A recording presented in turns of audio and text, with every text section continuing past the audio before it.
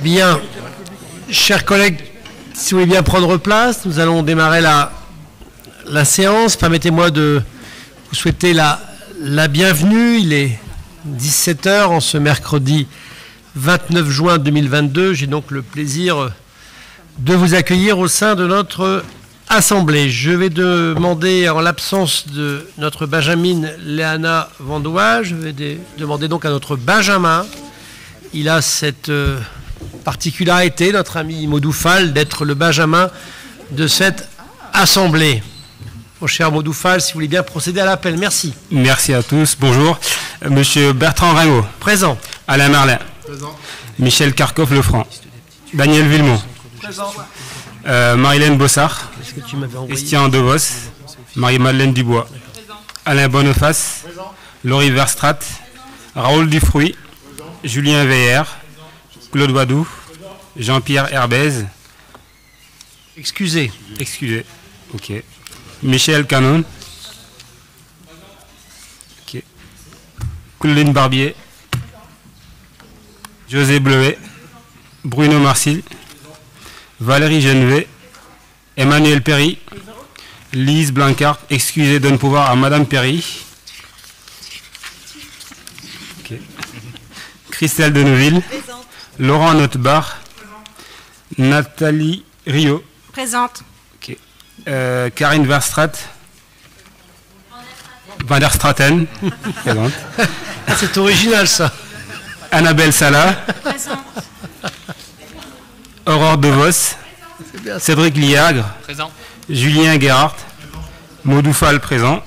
Léana Van de Vel, excusez, donne pouvoir à Madame, à Monsieur Dufruy. Il est à Jean-Pierre.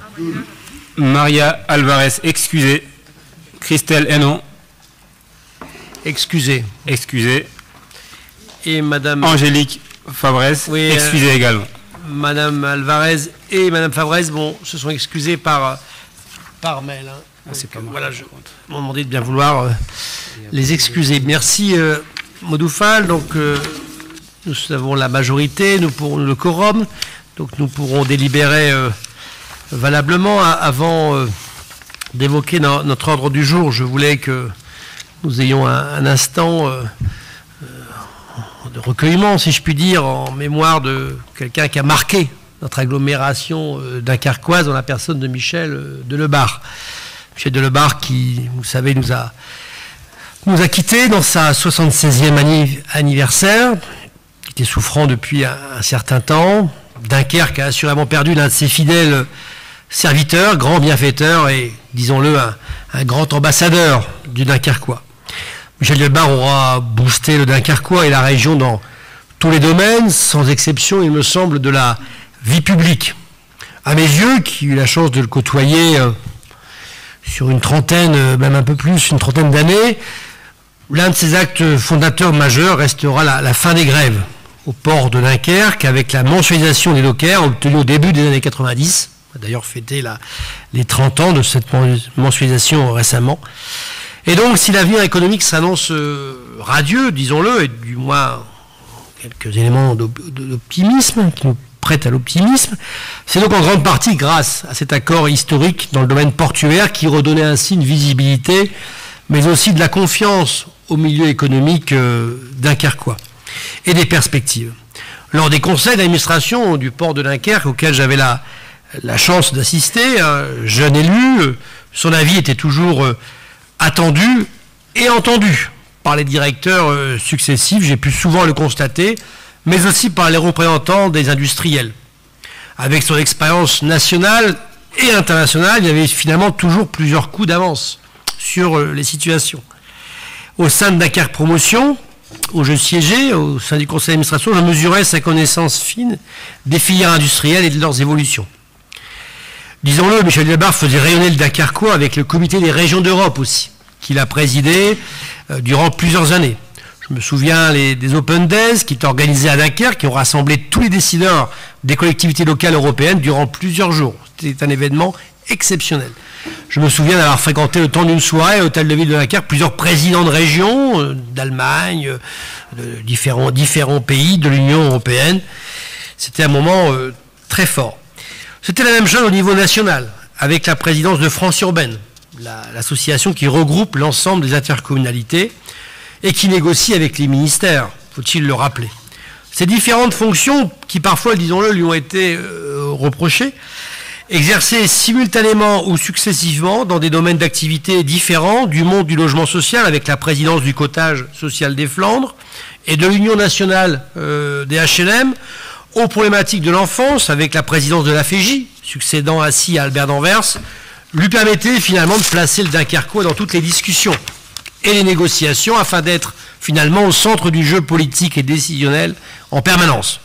C'était, je crois, pour ma part, une chance pour Dunkerque et les Dunkerquois que leur maire soit partout, car, disons-le, choisi et élu par ses pairs dans ces différentes instances, faut-il le rappeler. C'est vrai aussi avec la montée en puissance du syndicat mixte de la, de la Côte d'Opale, de Berck-sur-Mer à Brédune, qui le motivait également tout particulièrement. Le grand départ du Tour de France cycliste en Côte d'Opale fut organisé dans ce cadre, de même que l'électrification de la voie ferrée du littoral. Michel Delbar s'est beaucoup intéressé au sport également. Le Tour de France à la voile, accueilli chaque année, d'ailleurs, avec son fidèle complice ami Jacques Dussard, mais aussi le handball avec Nicolas Bernard, et le avec Christian Devos et moi-même, avec cette décision d'impliquer la communauté urbaine dans le sport de haut niveau. Décision majeure, car les clubs pouvaient ainsi, s'ils augmentaient leurs ressources propres parallèlement, jouer au plus haut niveau, et ce qui a permis au handball d'être champion de France, faut-il le rappeler, au BCM de gagner la Coupe de France et le tournoi des As, et de rester au plus haut niveau du basket français. Michel Lebar avait, je crois, mesuré le rayonnement que ces équipes pouvaient amener à un territoire, mais aussi le lien social qui générait toute l'année entre les populations. Son action fut également innovante dans le domaine culturel avec le soutien et la création du musée portuaire et avec son ami euh, Jean Dauert, Jean pour l'accueil du FRAC à Dunkerque, réalisation architecturale majeure ou la dynamique promotion du bateau-feu. L'expérience nationale accumulée auprès de Pierre Monroy et de François Mitterrand dans ses mandats de ministre, sept fois ministre, quatre fois euh, parlementaire euh, et une fois député et une fois sénateur, lui ont donc donné une expertise considérable et, disons-le, quasi unique, mise au service des Dunkerquois durant 25 ans et euh, durant une période que j'estime trop courte pour cause de cumul des mandats. Il, présidait également le conseil régional qu'il a, dû lâcher pour se conformer aux nouvelles dispositions légales en vigueur. Il était aussi à l'initiative de la construction du siège de région actuel. Avant cette vie politique, Michel Delbar, c'était aussi en début de carrière un technicien chevronné, directeur de cabinet de Pierre Monroy, avec qui il a tant cheminé à la mairie de Lille, puis à Matignon. Cette expertise, cette capacité de travail hors normes et cette énergie exceptionnelle, il a eu à cœur d'en faire bénéficier les Dunkerquois, notamment les jeunes, en amenant l'université à Dunkerque et sur le littoral de la Côte d'Opale, mais aussi l'école nationale des cadres territoriaux, l'ENACT, afin que les jeunes et les agents territoriaux puissent se former à Dunkerque. Il présida d'ailleurs également le Centre national de la fonction publique territoriale, le CNFPT. Promoteur infatigable nationalement, ses prises de parole étaient toujours attendues. Quand Michel Delbar allait prendre la parole, on savait, disons-le, qu'il allait se passer quelque chose. De manière quasi magique, il s'approchait du micro, nous souriant et un profond silence s'installait, favorisant l'écoute. Son humour est également toujours présent dans ses interventions. C'était un tribun hors pair, chacun euh, le reconnaît. Les messages passés. J'aurais également une pensée ce jour pour Jacques Galski et Albert d'Anvers qui ont été à l'origine de son implantation sur le, sur le littoral. Nous présentons à son épouse Janine, sa fille Caroline, son beau-fils Vulfranc et sa famille nos plus sincères et amicales condoléances.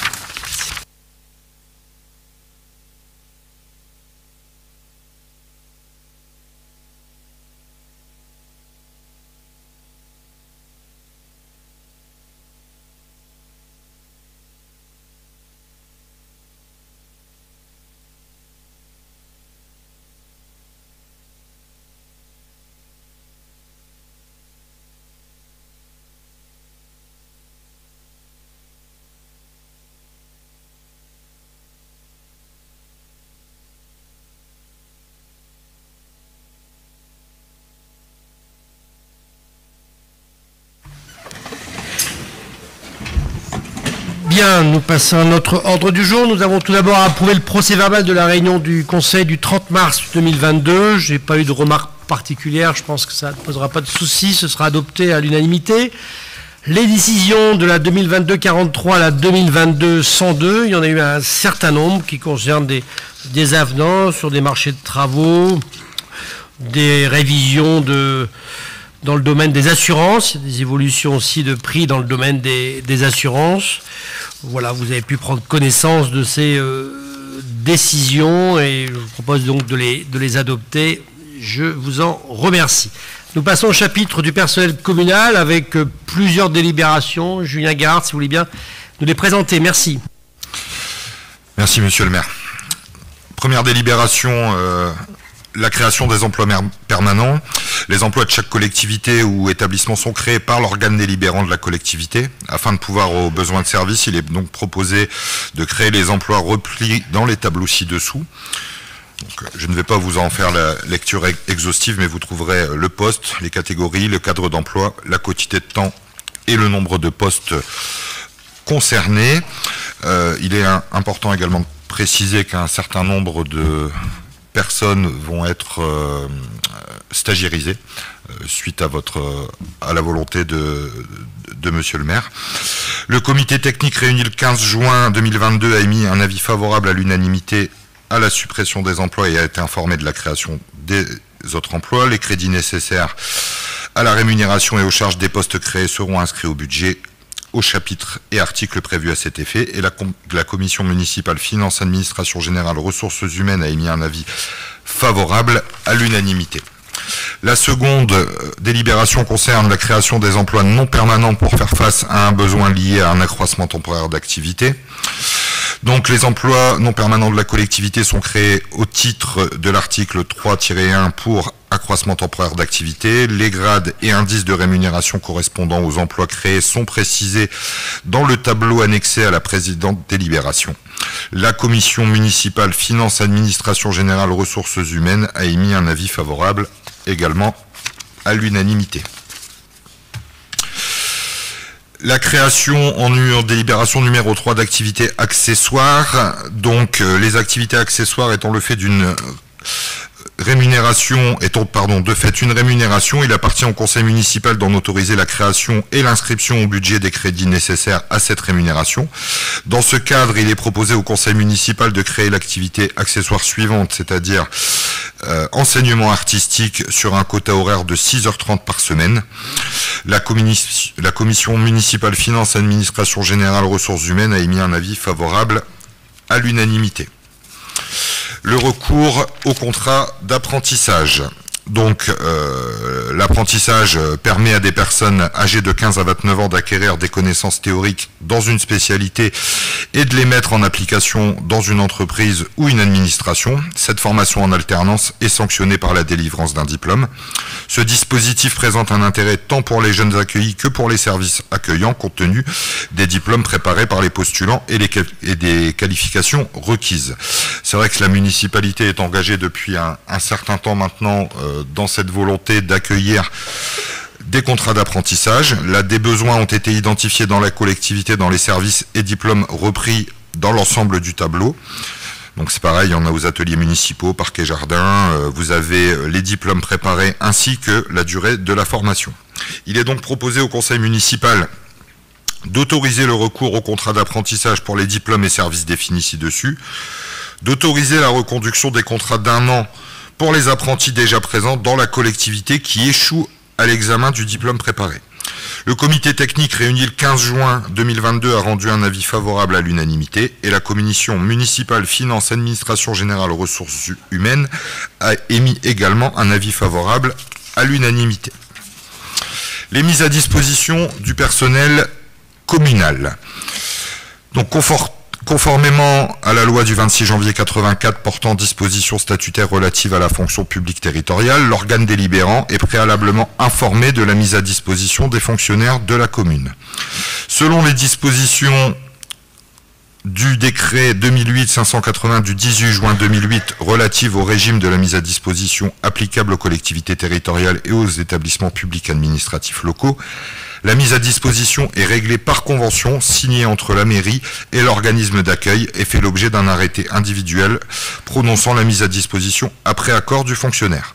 Le conseil municipal est informé d'une nouvelle mise à disposition. La liste de l'ensemble des fonctionnaires de la collectivité concernée est ainsi mise à jour et annexée à la présente délibération.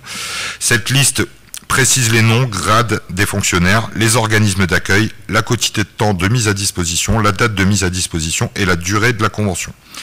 Il est donc proposé, conformément aux dispositions euh, de la loi précitée, que les mises à disposition auprès de l'établissement public de coopération intercommunale dont la communauté, dont la commune est membre, ne donnent pas lieu à remboursement lorsque celle-ci est précisée dans la liste annexée. Le comité technique a été informé de cette mise à disposition le 15 juin 2022 et la commission municipale finance administration générale ressources humaines a émis un avis favorable à l'unanimité. Ensuite, une euh, délibération que l'on retrouve euh, de manière régulière qui est l'aide financière pour l'appui euh, pour l'apprenti, octroi et demande de subvention au FIPHFP.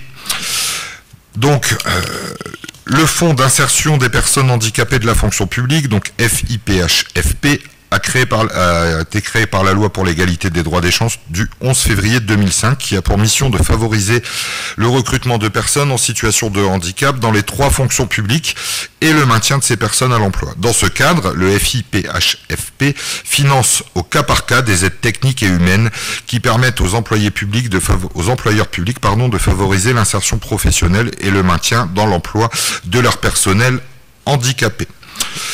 Donc ils octroient dans ce cadre une aide financière visant à favoriser le recrutement d'apprentis par les employeurs publics et ainsi améliorer leur intégration dans l'environnement professionnel. Il s'agit d'une aide à la formation forfaitaire de 1525 euros versée à l'apprenti via l'employeur public et mobilisable une fois par diplôme.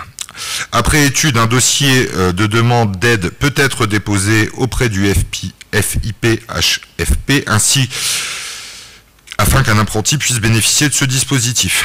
Il est proposé au conseil municipal d'accorder cette aide forfaitaire de 1525 euros à l'apprenti et de finaliser l'instruction de la demande d'aide auprès du FIPHFP. La commission municipale Finance Administration Générale Ressources Humaines a émis un avis favorable à l'unanimité. Et la dernière concerne la demande de subvention et de financement de prothèses auditives. Donc, euh, les fonds, bah, est-ce que... Là, il s'agit cette fois-ci euh, d'un de nos agents municipaux malentendants. Euh, pour poursuivre son activité professionnelle dans de bonnes conditions, le médecin de la prévention et de la cellule handicap du centre de gestion ont été sollicités. Donc après étude, le dossier de demande d'aide sera déposé également auprès du FIPHFP afin que ce dernier puisse contribuer au financement des prothèses auditives indispensables à l'intéressé. Dans le cas présent, le FIPHFP prend en charge le coût des prothèses auditives dans la limite du plafond de 1600 euros, déduction faite des remboursements des régimes obligatoires de la sécurité sociale et complémentaires, c'est-à-dire mutuelles, et des prestations de compensation du handicap délivrées par la maison départementale des personnes handicapées. Il est proposé au conseil municipal de prendre en charge le coût restant de la facture des prothèses auditives après réduction des remboursements de la sécurité sociale des mutuelles et des PCH et de finaliser l'instruction de la demande d'aide auprès du FIP-HFP. La commission municipale Finance Administration Générale Ressources Humaines a émis un avis favorable à l'unanimité. Voilà, monsieur le maire. Merci, monsieur Guérard, pour ces délibérations. Sur la délibération concernant la mise à disposition personnel communal, vous constaterez qu'en gras, on a rajouté un nouveau, une nouvelle mise à disposition, hein, celle de Sylvie Alain Picandard, qui, qui a été recrutée pour 30 mois par le pôle métropolitain de la 28 mois plus précisément, par le pôle métropolitain de la Côte d'Opale pour poursuivre le travail qu'elle faisait ici, mais à l'échelle euh, de tout le, littoral.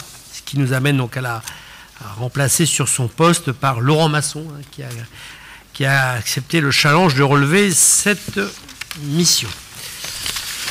Au niveau personnel, je voulais aussi vous, communiquer des, bonnes nouvelles pour euh, quelques agents hein, qui ont été euh, nommés à la promotion interne. Hein. donc c'est une, vous savez qu'on peut soit être nommé à la promotion interne, soit réussir les concours. Donc, et en généralement, même quasiment tout le temps, quand un agent réussit un concours, nous le nommons sur son concours dès l'obtention de ce concours.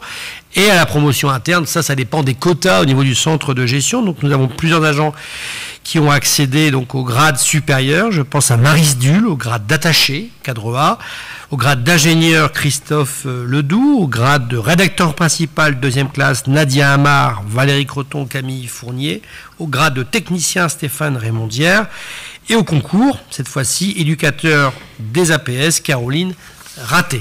Voilà cette information que je voulais euh, vous communiquer. Nos agents progressent, voilà, ils sont, euh, voilà, ils sont en pointe dans de nombreux domaines. Certains d'ailleurs aussi interviennent au niveau des formations hein, du CNFPT, hein, compte tenu de leur expertise dans leur spécialité. On a aussi relativement peu de mutations. On a par contre pas mal de demandes de personnes qui veulent venir travailler ici. J'y vois un signe comme quoi euh, notre collectivité euh, est bien structurée et quelque part il y a, un plaisir à y travailler. Donc c'est important l'attractivité aussi euh, territoriale hein, des, agents. Je peux vous dire que dans d'autres collectivités, ce n'est pas toujours le cas. Donc je me félicite que ce soit à ce stade la, situation vécue à Gravelines.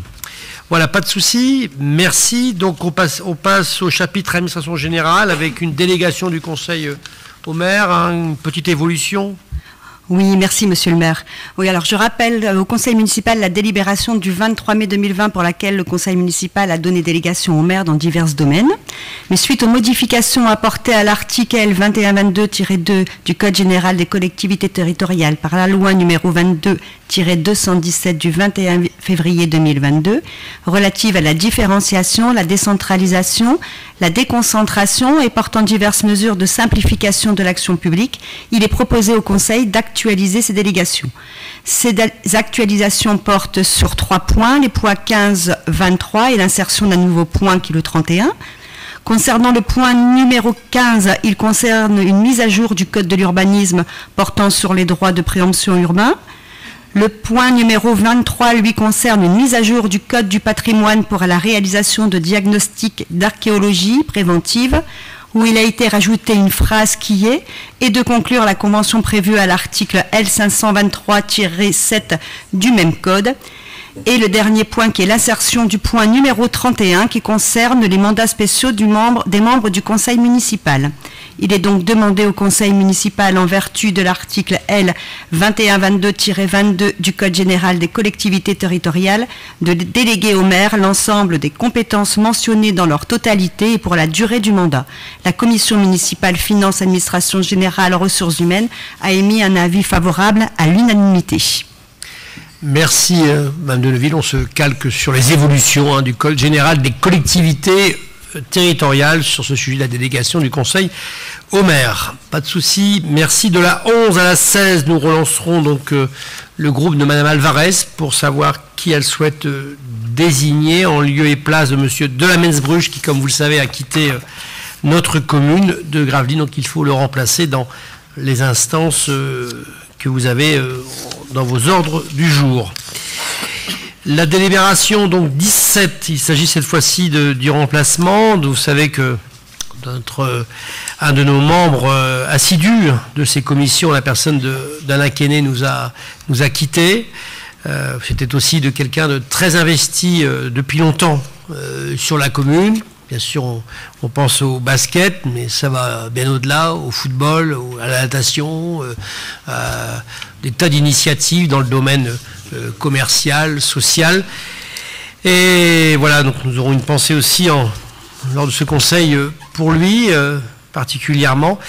Et donc je vous propose pour le remplacer dans la commission présidée par Alain Merlin Action Sociale par Olivier Dolé. C'est la candidature qui m'a été transmise. De même, dans la commission prévention et lutte contre les incivilités, où Alain Quenet siégeait également, présidé par Alain Bonneface, Éric Delay, qui le remplacera. Voilà. Nous passons au chapitre euh, sur le rapport de la Chambre régionale euh, des comptes avec euh, un rapport d'analyse sur les comptes de la communauté urbaine de Dunkerque. Je demande à Laurent Notbar, conseiller communautaire, de bien vouloir nous en dire quelques mots. Merci Monsieur le maire. je vais vous faire un petit résumé ce rapport.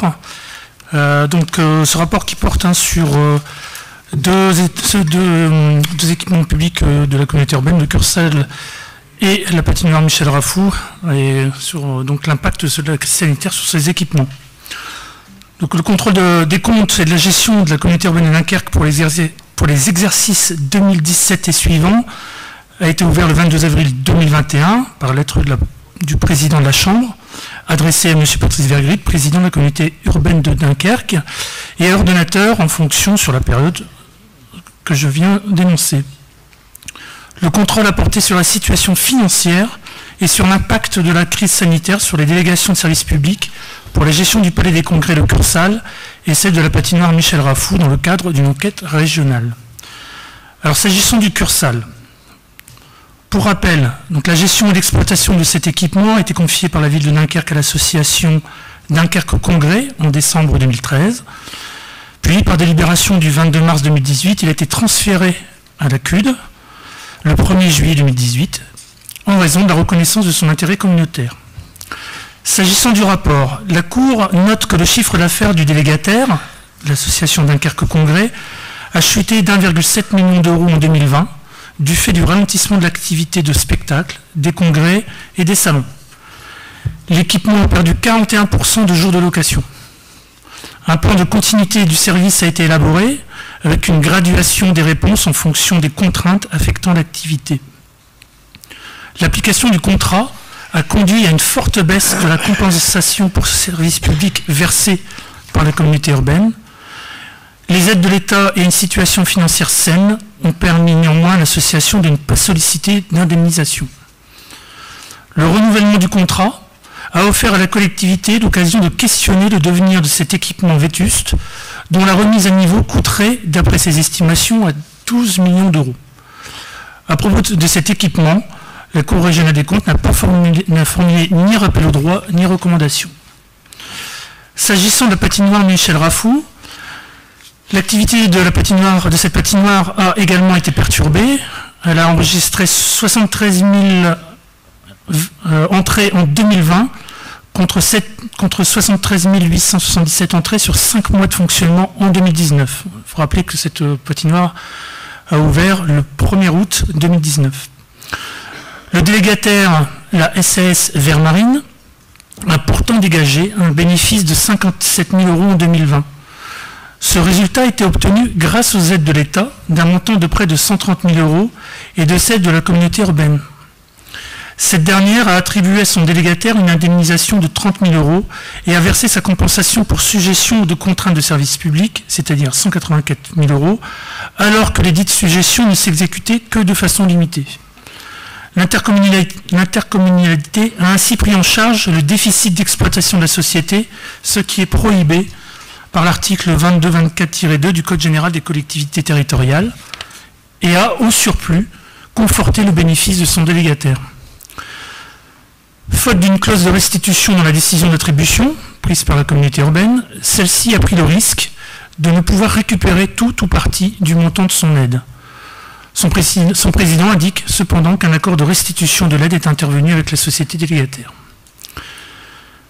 La crise a mis en évidence la nécessité pour l'intercommunalité de renforcer le suivi annuel, voire infra-annuel de ce service et de revoir avec son délégataire le contrat d'affermage dont l'actuel compte d'exploitation prévisionnelle présente un caractère artificiel. Donc à propos de cet équipement, la Cour régionale des comptes a formulé un rappel au droit, qui est de définir la nature des suggestions de services publics et leur mode de calcul, justifiant la compensation forfaitaire adossée, et deux recommandations. La première est d'exiger du délégataire la restitution du bilan financier annuel de la délégation, conforme à la présentation des rubriques du compte d'exploitation prévisionnelle. Et la deuxième recommandation qui est d'actualiser, par voie d'avenant, les conditions d'équilibre financier du contrat de délégation pour les années 2021 à 2024. En réponse à ce rappel au droit et à ces deux recommandations, le président indique qu'il les prendra en compte. Voilà, j'en ai terminé, monsieur le maire. Merci, monsieur Notbar, pour cette synthèse. Nous en prenons donc acte, hein, comme, il est, euh, comme il est demandé. Une convention, cette fois-ci, avec l'agence euh, communale postale de Petit-Fort, hein, que nous avions créée il y a une, dizaine, une bonne dizaine d'années, donc il faut renouveler, Madame Deneville. Oui, merci Monsieur le maire. Effectivement, il, s'agit du renouvellement de la convention relative à l'organisation d'une agence communale postale à Petit-Fort-Philippe.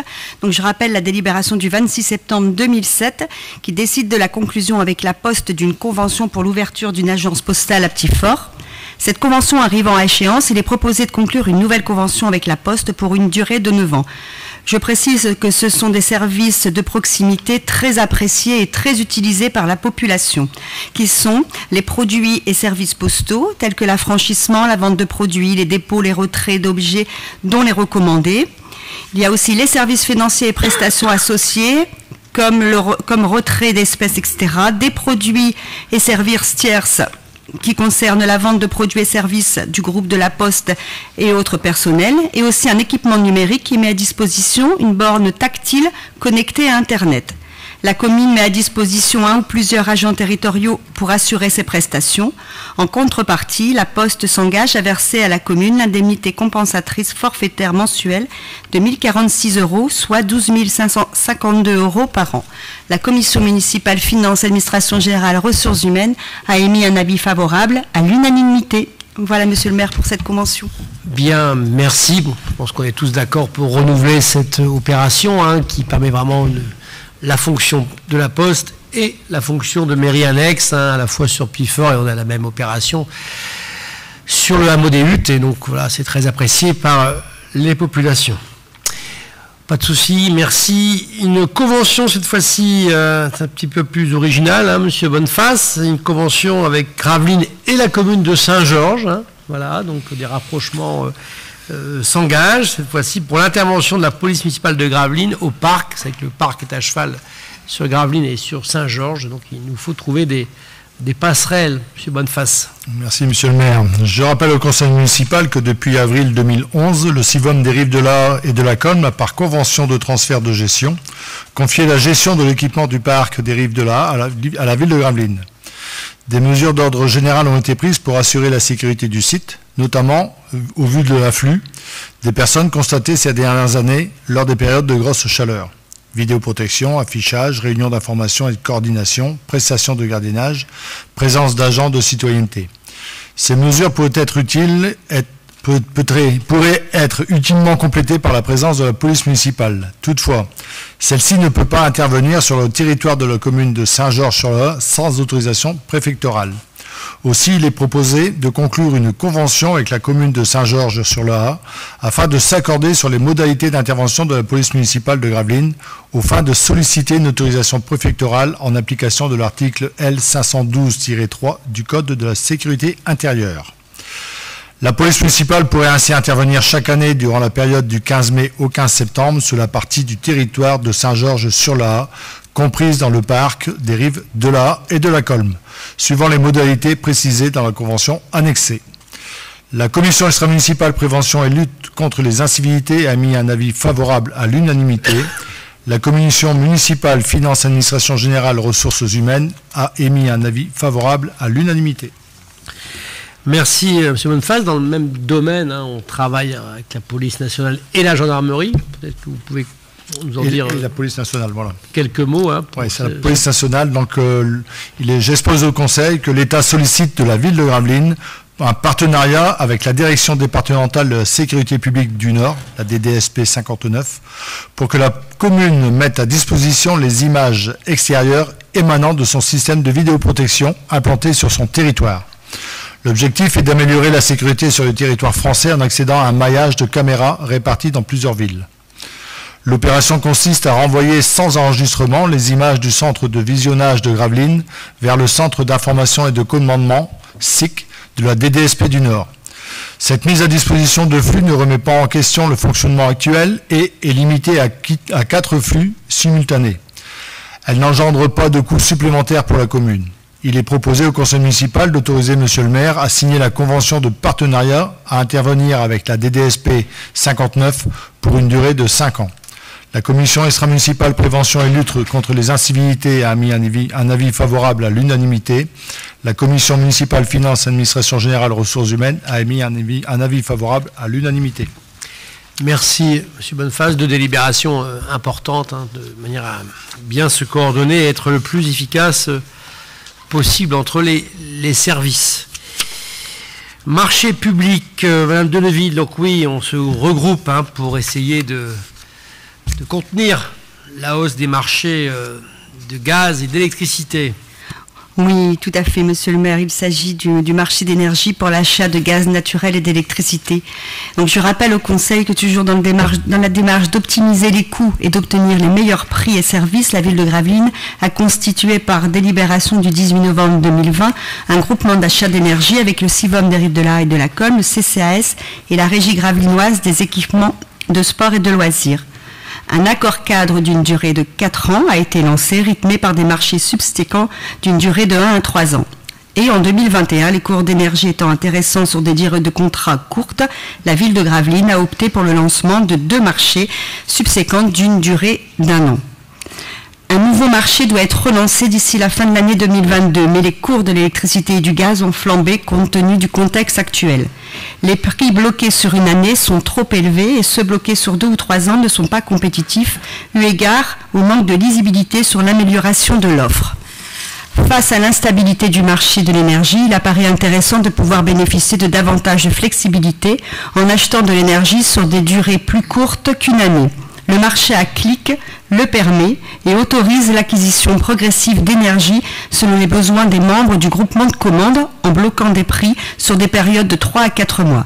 C'est pourquoi un nouvel accord cadre incluant la possibilité de recourir au marché à clic va être lancé et il est proposé de constituer un nouveau groupement de commande en vue de la passation et de l'exécution de ce marché public qui sera conclu entre la ville de Gravelines, le CIVOM des Rives de la et de la Colme le CCAS est la régie gravelinoise des équipements des sports et de loisirs. Les modalités de fonctionnement du groupement seront définies par la convention constitutive du groupement de commande.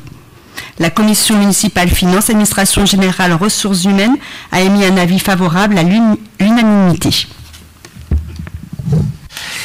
Merci Mme Deleville. il va falloir suivre ça de, près, hein. donc avec le service avec le service achat de manière vraiment euh, essayer d'optimiser et contenir le plus possible cette hausse qu'on a quand même chiffrée euh, à, ce stade, si les choses restaient en l'état, euh, pour la commune, de presque 500 000 euros, je dis bien 500 000 euros par an de charges nouvelles en termes d'électricité et de gaz. Donc ça impliquerait qu'on revoie quand même le budget de manière importante. Hein. Donc voilà, c'est vraiment une préoccupation bah, que toutes les communes partagent, mais nous avons quand même beaucoup de bâtiments à, Gravelines, donc, euh, et, des, bâtiments euh, très importants, inutile que je vous les cite.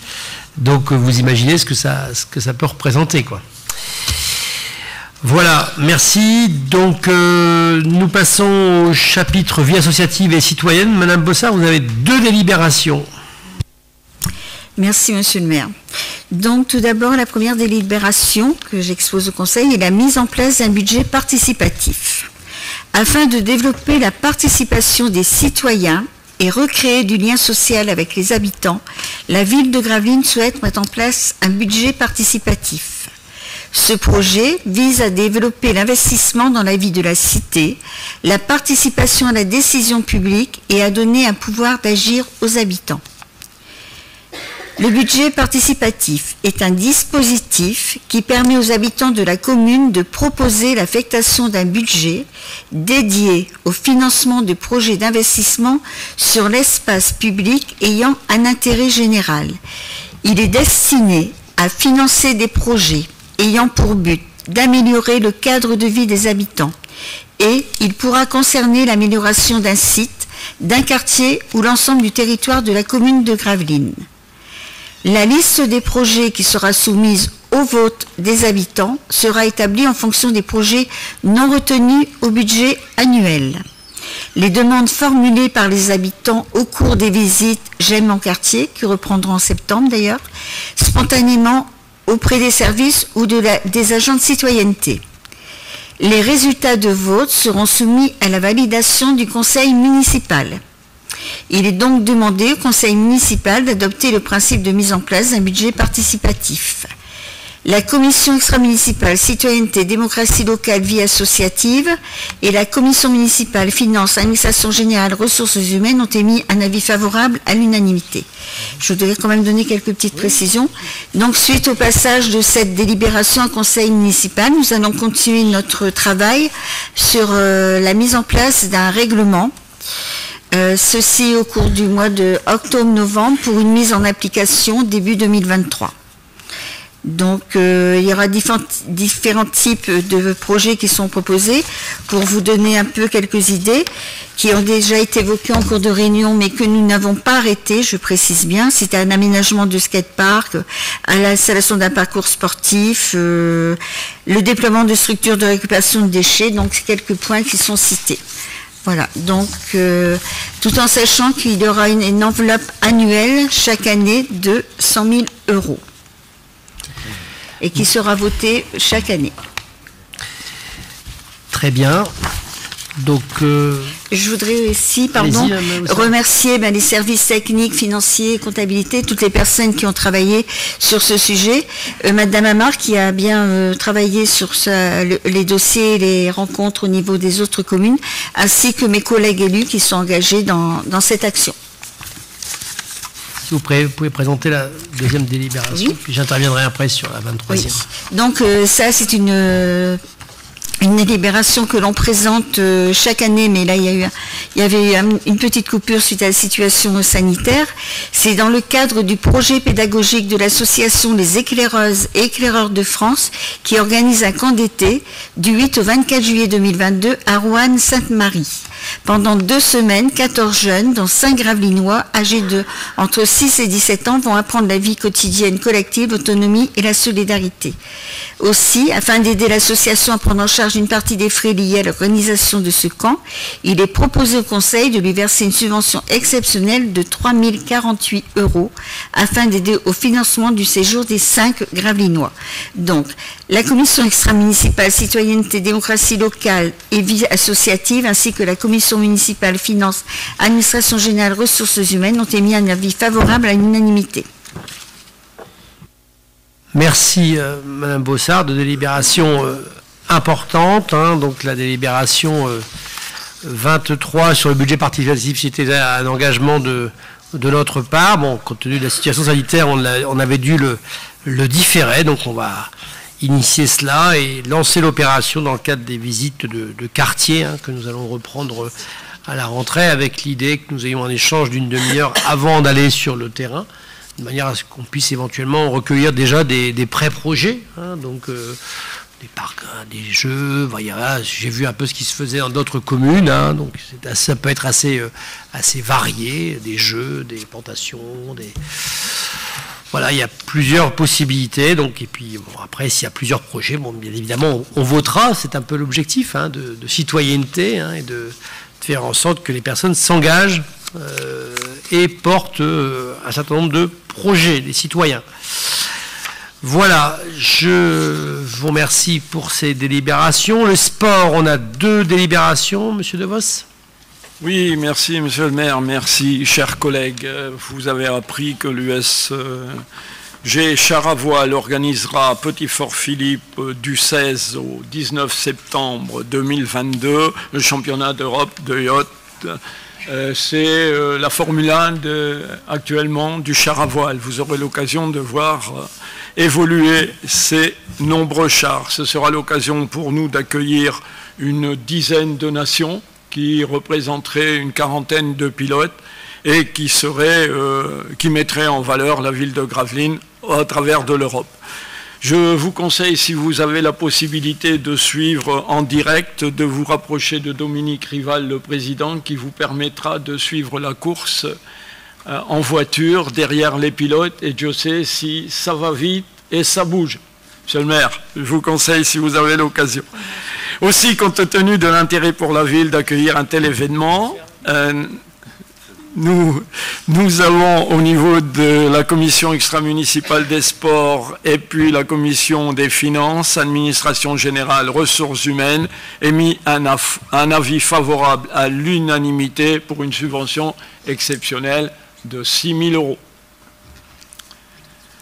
Dieu sait si euh, les membres de la commission ont été euh, dynamiques, volontaires et m'ont empli de satisfaction pour qu'on réussisse une belle performance. Donc merci à vous tous.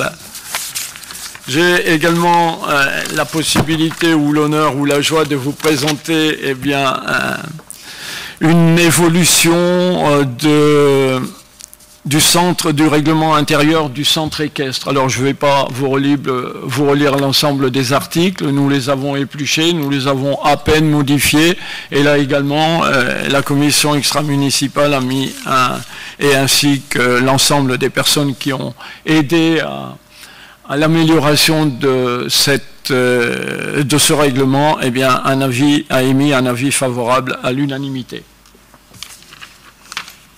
Merci, euh, M. DeVos. Centre équestre qui a vu un changement de chef d'établissement. Hein. C'est désormais donc Cédric Gourlet qui assure euh, la direction de cet établissement. Patrick Lebrun ayant fait valoir euh, ses droits à la retraite. Bon, c'était quelqu'un qui était beaucoup engagé pour ce centre équestre et donc je doute pas qu'il en sera ainsi également avec Cédric Gourlet qui va aussi apporter sa vision de cet équipement qui est quand même très fréquenté euh, sur la commune, tant sur l'aspect équestre, mais sur l'aspect aussi éducatif. Hein. C'est vraiment un lieu de, rencontre, de, euh, promenade. Un chapitre des sports euh, très fourni. Hein. J'ai recensé un peu tout ce qui s'est passé ces dernières semaines dans le domaine du sport. C'est considérable. Les clubs vraiment ont fait un travail important, hein, le handball, hein, avec cette opération Beach Hand originale hein, sur euh, Petit Fort Philippe du 22 juin au 26 juin. Bon, il y a eu quelques problématiques au, au niveau météorologique, mais ça a quand même pu, euh, pu s'organiser. On a eu un tournoi de basket féminin aussi avec Gravine Basket Féminin qui est dans une belle dynamique les 25 et 26 juin. On a eu le tournoi de badminton aussi au, au Sportica avec 420 euh, badistes. On a eu le tournoi de foot Mon Combat aussi organisé par euh, certains gendarmes du, PSPG, hein, que, je, que je salue et que je remercie en lien avec le club de, football. On a eu le tournoi 3 contre 3 en basket avec la GESLA, la fête du nautisme le 4 juin, le tournoi jeune avec l'USG football aussi, une grosse fréquentation le 4 juin. La journée des débutants aussi avec l'USG football, il y a un gros effort chez les jeunes le 28 mai. Le tournoi des fortifications aussi avec l'USG football le 26 mai.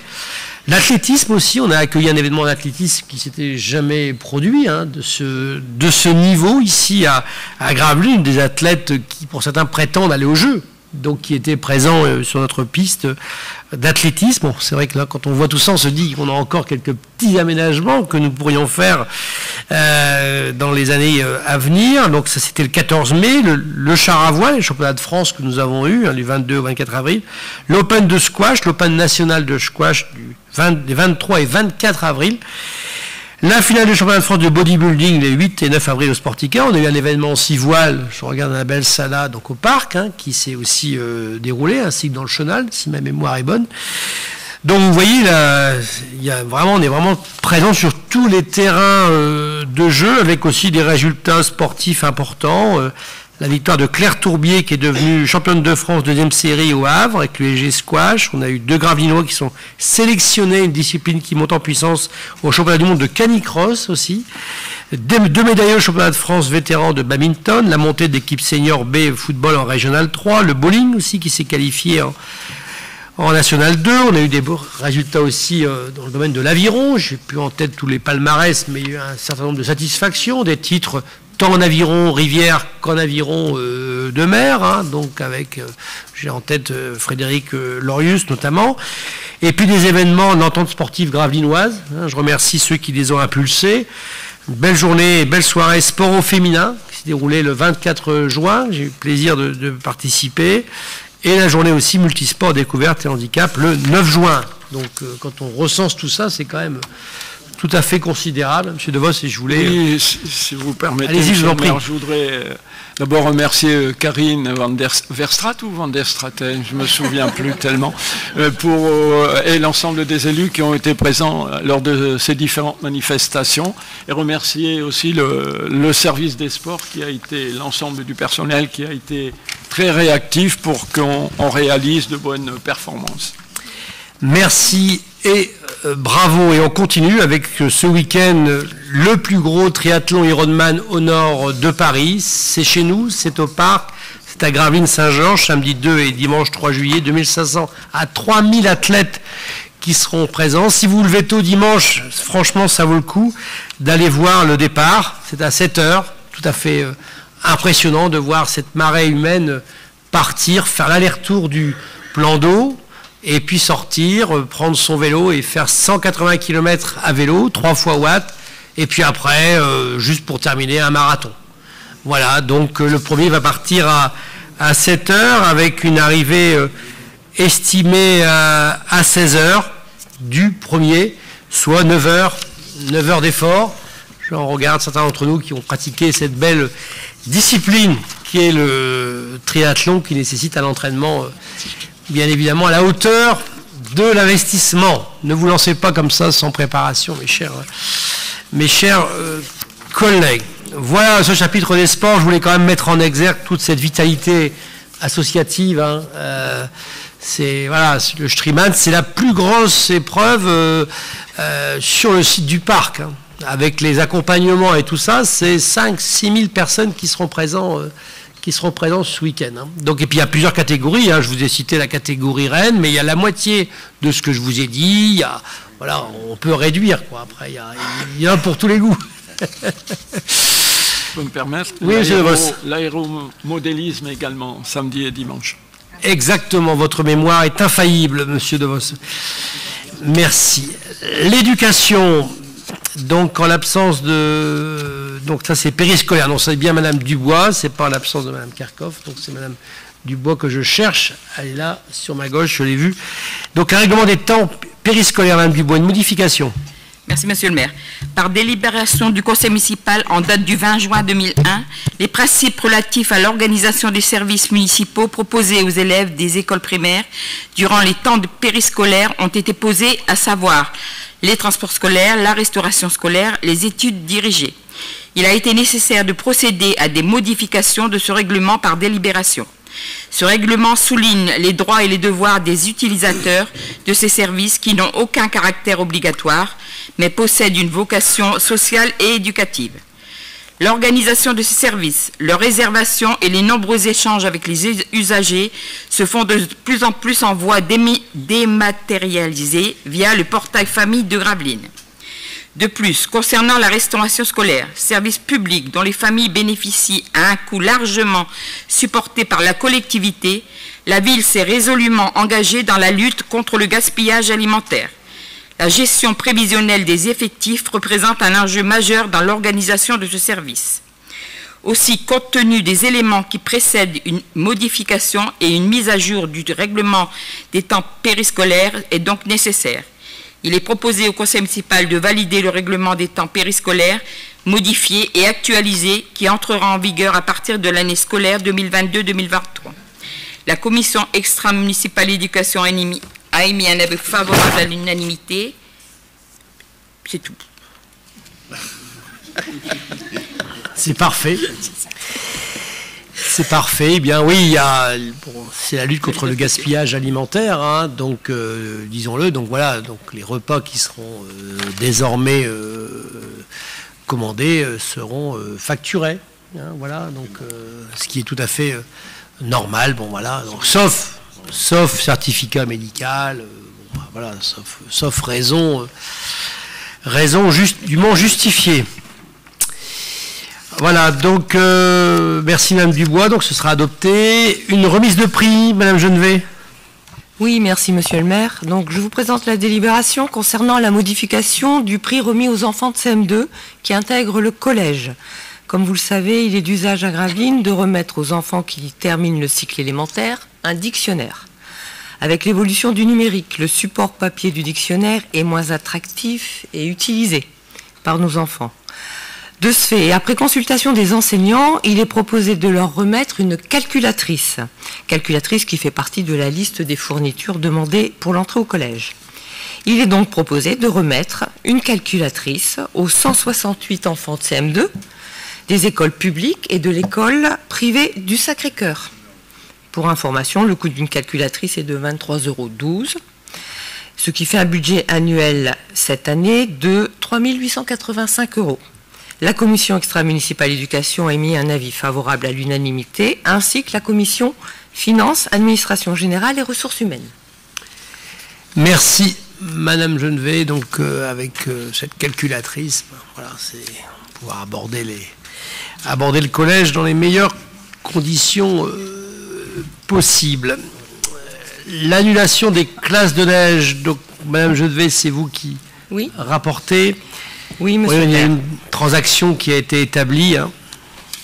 Donc, comme vous savez, par décision municipale du 30 juin 2021, la ville de Gravelines a approuvé le choix de retenir l'association Évasion 78 pour organiser les classes de neige de l'hiver 2022 dans le nouveau chalet à la chapelle d'Abondance.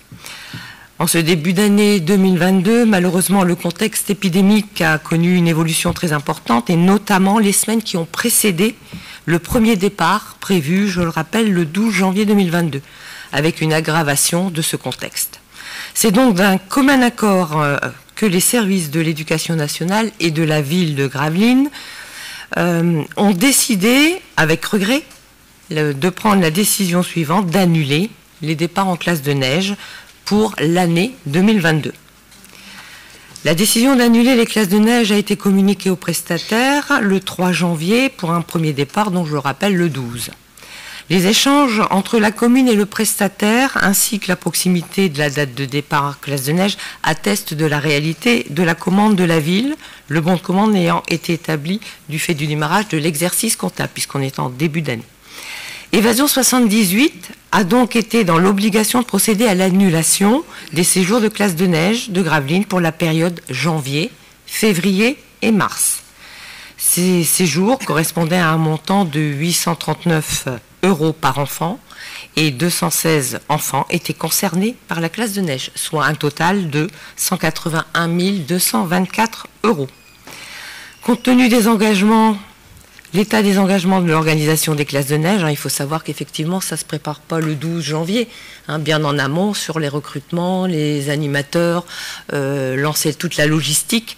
Et donc, effectivement, Évasion 78 euh, avait déjà lancé les choses. Euh, donc, demande exceptionnellement une indemnisation au titre de l'année 2022 d'un montant de 5 740 euros correspondant à ces frais déjà engagés. La commission euh, extra-municipale éducation a émis un avis favorable et la commission finance administration générale ressources humaines a également émis un avis favorable à l'unanimité.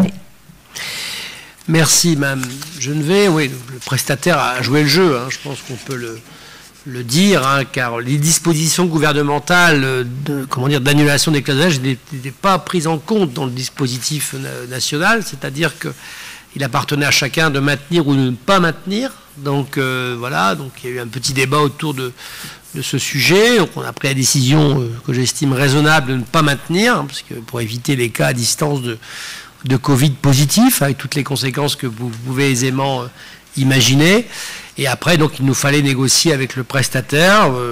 je pensais, je vous avoue en toute honnêteté, que on aurait du mal à atteindre un niveau relativement faible, on va le dire, d'indemnisation par rapport à l'ensemble des chambres qui ont été réservées pendant toutes ces semaines auprès de l'hôtelier euh, chez qui nous allons aller euh, euh, l'année prochaine. Voilà, je l'espère, je l'espère. Ça fait quand même deux années que ces classes de neige sont, sont annulées. J'aurai l'occasion de revenir sur le sujet dans une autre délibération. Si je peux me permettre, monsieur le maire, je voudrais donc ajouter que même si on a annulé les classes de neige, on a quand même proposé aux enfants d'autres choses. On a notamment euh, renouvelé euh, entre terre et mer.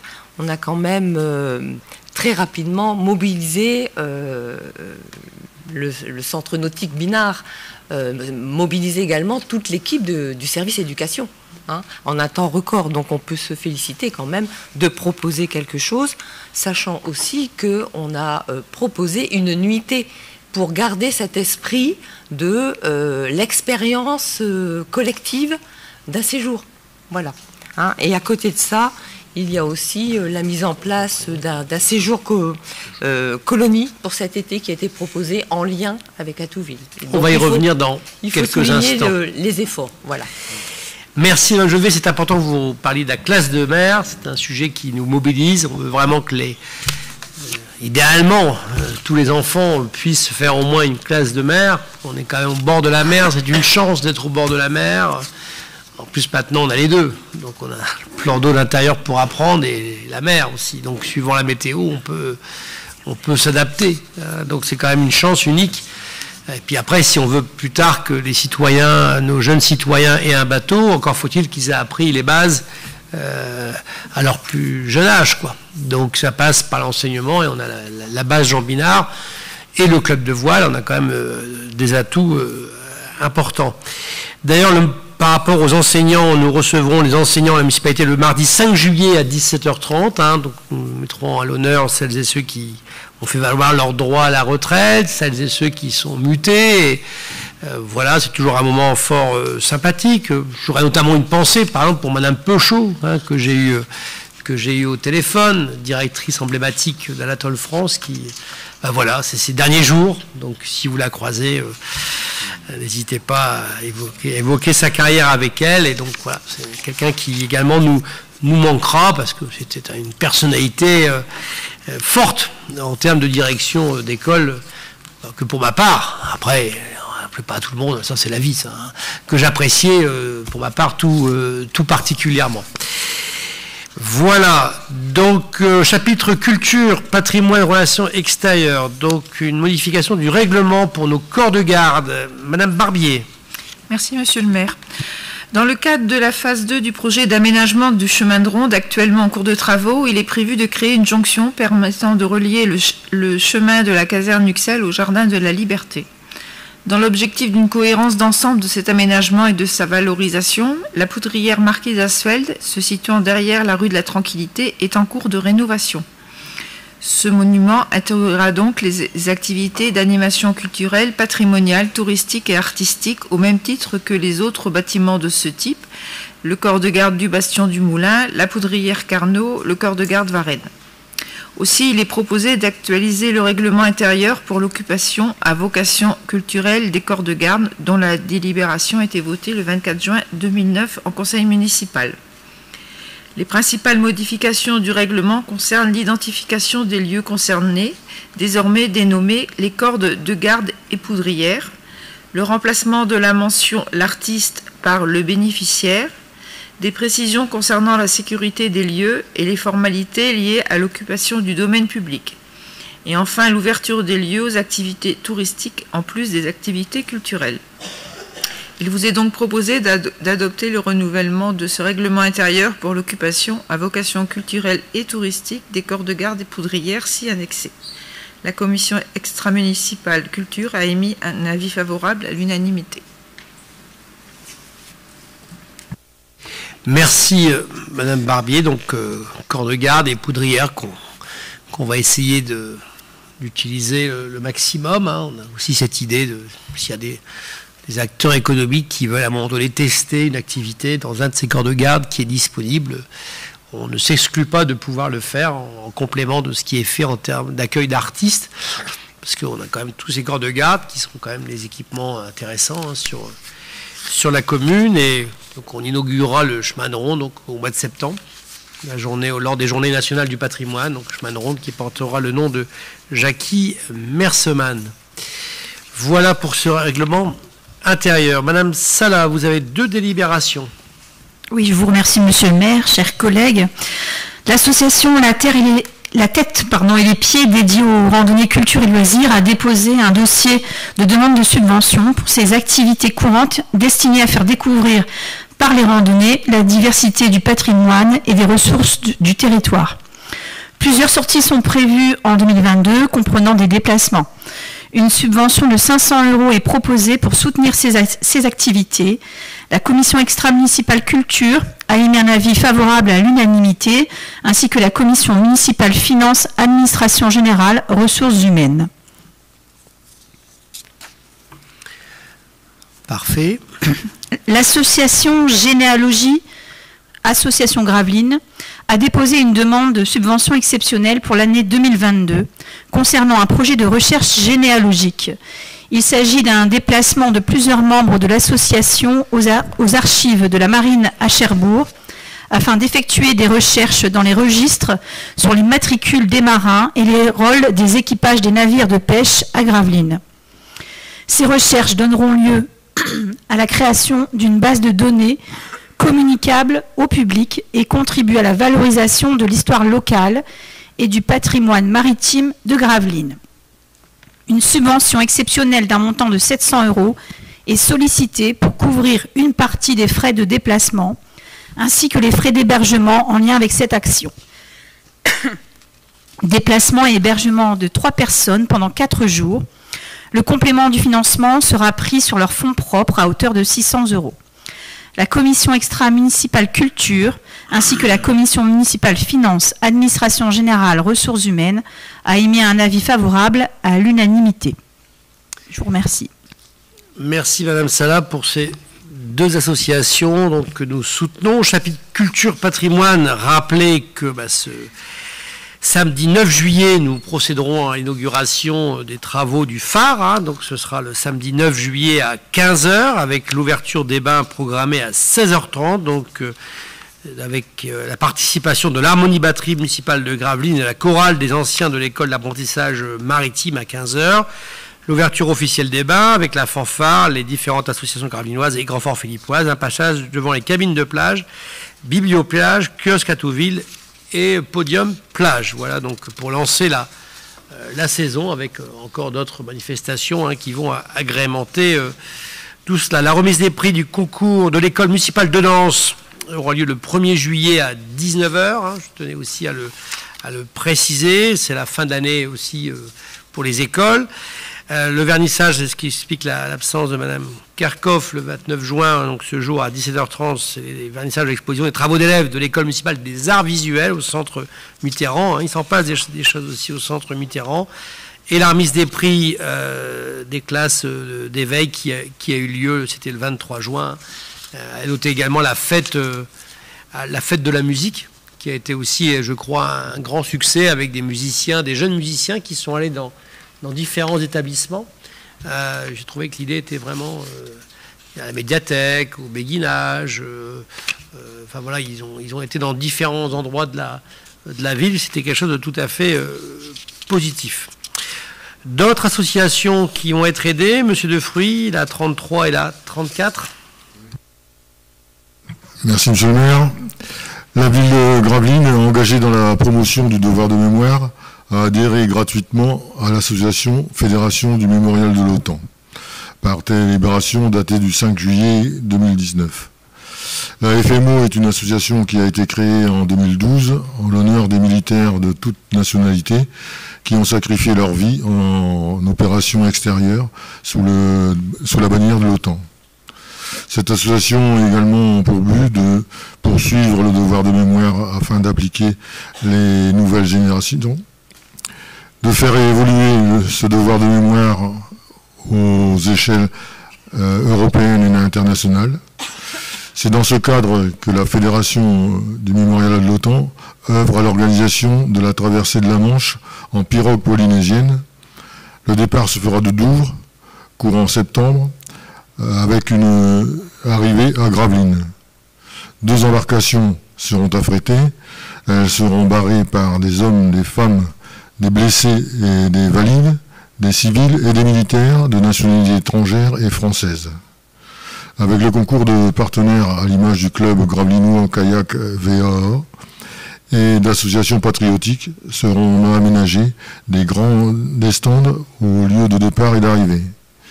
Il est proposé au Conseil de verser à l'association une subvention exceptionnelle de 1000 euros afin de soutenir dans l'organisation de cette traversée. La commission euh, extra-municipale jeunesse, devoir de mémoire et insertion professionnelle a émis un avis favorable à l'unanimité. La commission municipale finance administration générale ressources humaines a émis un avis favorable à l'unanimité. Alors la, deuxième, c'est une subvention exceptionnelle à, à. En raison de la crise sanitaire, comme on avait parlé tout à l'heure, liée au, Covid-19, les classes de neige de l'année scolaire 2021-2022 se sont vues annulées pour décision euh, partagée avec l'inspection de l'éducation nationale. Consciente de l'impact qu'a eu cette annulation sur les enfants et compte, tenu de la sensibilisation du contexte épidémique, l'association Atouville a réfléchi à l'organisation d'un séjour d'été afin que les élèves des écoles de la commune soient, aient l'occasion de connaître au, moins une fois une expérience de vie collective avec leurs camarades. L'association Atouville développera son projet dans un lieu de type centre de vacances et de loisirs, plus précisément à Pont-Saint-Esprit, au domaine de Saint-Pancras en Ardèche. Les dates proposées sont du dimanche 10, au samedi 16 juillet, du dimanche 21 au dimanche 27 août, avec les prestations suivantes, un hébergement en dur, une formule en pension complète, déjeuner, petit déjeuner, goûter, dîner, un programme d'activité et d'animation attractive et ludique, un transport de nuit, L'association souhaite proposer une tarification accessible, soit 95 euros par enfant participant qui seront demandés aux familles. C'est un total de 92 enfants qui est inscrit dans deux, sessions, 50 en juillet, 42 en août. Il est proposé au Conseil de verser à l'association une subvention exceptionnelle de 46 300 euros afin de l'aider à l'organiser à organiser ces séjours et ainsi permettre aux enfants de vivre un séjour collectif dans un autre cadre. La commission municipale des finances, administration générale, ressources humaines a émis un avis favorable. Voilà, monsieur le maire. Bien, merci, euh, monsieur Defruy. Donc, c'est l'opération que j'évoquais euh, tout à l'heure. Hein. Donc, on avait été euh, sollicité par des parents d'élèves, notamment d'Anatole France, qui justement nous demander de réfléchir à une possibilité de trouver une solution de alternative, on va le dire euh, comme cela, donc euh, par rapport à, ces classes de neige. Et donc euh, il y a eu cette idée. Moi, je me réjouis de, de l'adhésion, hein, donc qui concerne d'ailleurs toutes les écoles. Hein. donc voilà, donc jeunes vont vivre une belle expérience. je crois qu'il faut s'en féliciter. Je remercierai à Touville qui a au, pied levé donc aussi accepté de, coordonner un peu tout cela, donc euh, de faire en sorte que, nous puissions avoir un prestataire, parce qu'il fallait trouver le prestataire. Euh, compte tenu du code des marchés, nous, on aurait eu besoin d'un délai quand même assez, euh, assez important, et donc il nous fallait un prestataire pour lequel on évite de passer justement par la mise en concurrence. Quoi. Et donc c'est vrai que la solution à Touville nous a facilité, facilité les choses. J'ai participé à la réunion avec Alain Merlin, nous étions à la réunion avec les parents les parents d'élèves concernés. Hein. Et les parents d'élèves ont vraiment remercié la, la municipalité, hein, vraiment euh, euh, largement. Et puis le village où ils vont, franchement, c'est un très beau village. Et puis c'est un partenaire qu'on connaît bien, c'est l'ADP. Voilà, un partenaire euh, historique de la ville, l'ADP, hein, donc, qui a géré notre chalet de longues années. Donc voilà, ils vont avoir un souvenir ensemble dans cette euh, ambiance de l'école euh, primaire avant de partir au, avant de partir au, collège. Voilà, donc je crois qu'on a fait euh, quelque chose de tout à fait positif. Et je tenais à, vous en remercier. Voilà. Pas de souci. Merci. Donc, Monsieur Notbar, vous avez deux délibérations sur des travaux là qui quand même sont complexes et qui compliquent le commerce Gravelinois, le Shelvlit, les travaux du Shelvlit. Allez-y, monsieur Notbar. Oui, merci. Donc, euh, pour commencer, effectivement, une convention de gestion transitoire du remblai routier entre la porte de garde et l'ouvrage aval du Shelflit. Donc, euh, considérant que la communauté urbaine a de définir un système d'endiguement ainsi que son niveau de protection et disposer de la maîtrise foncière lui permettant de mettre en œuvre les différentes missions de gestion, de surveillance et d'entretien liées à l'exploitation du système d'endiguement, et ce, en toutes circonstances.